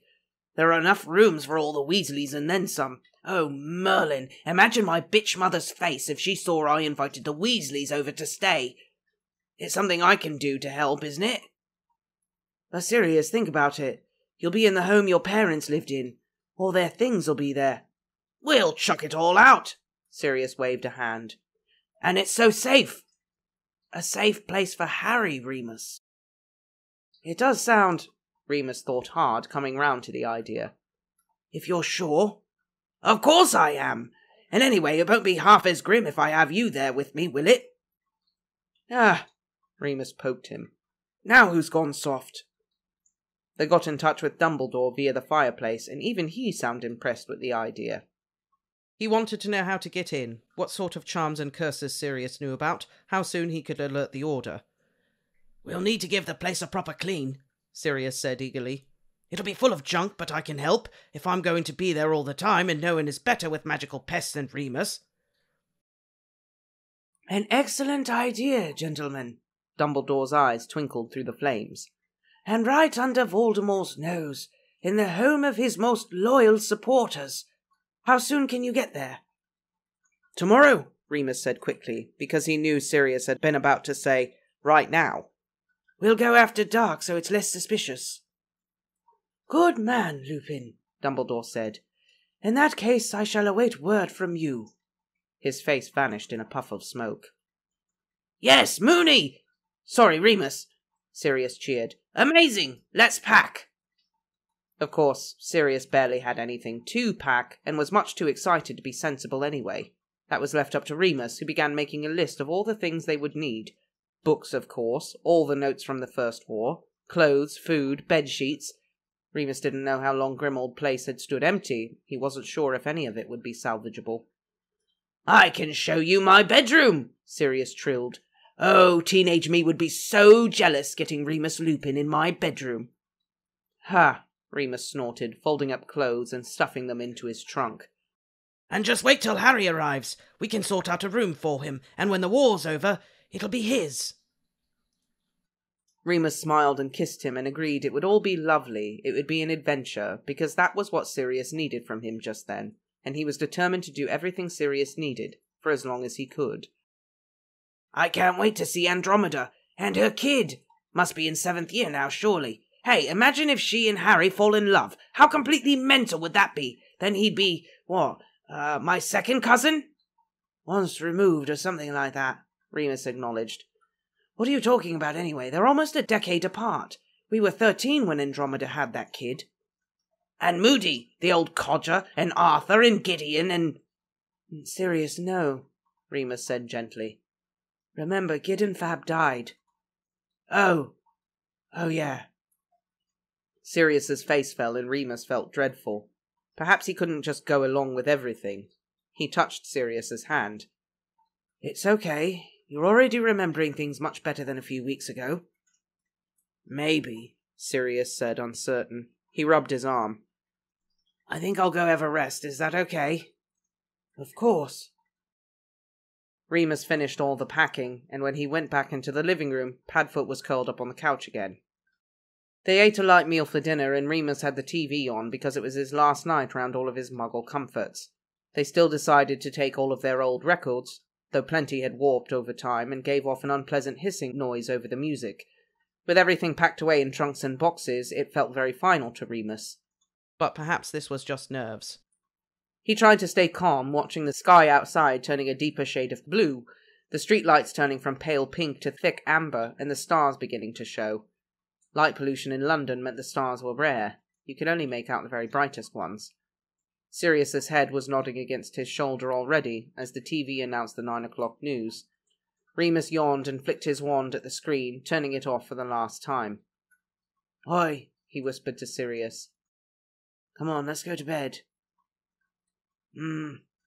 Remus had to shake him a bit, but finally Sirius staggered up and wandered zombie-like down the hall. Remus brushed his teeth and washed his face, then followed him in. Sirius was standing by the bed, biting his lip. Come on, Remus yawned, climbing under the covers. What's wrong? Um, nothing. Sirius got in slowly.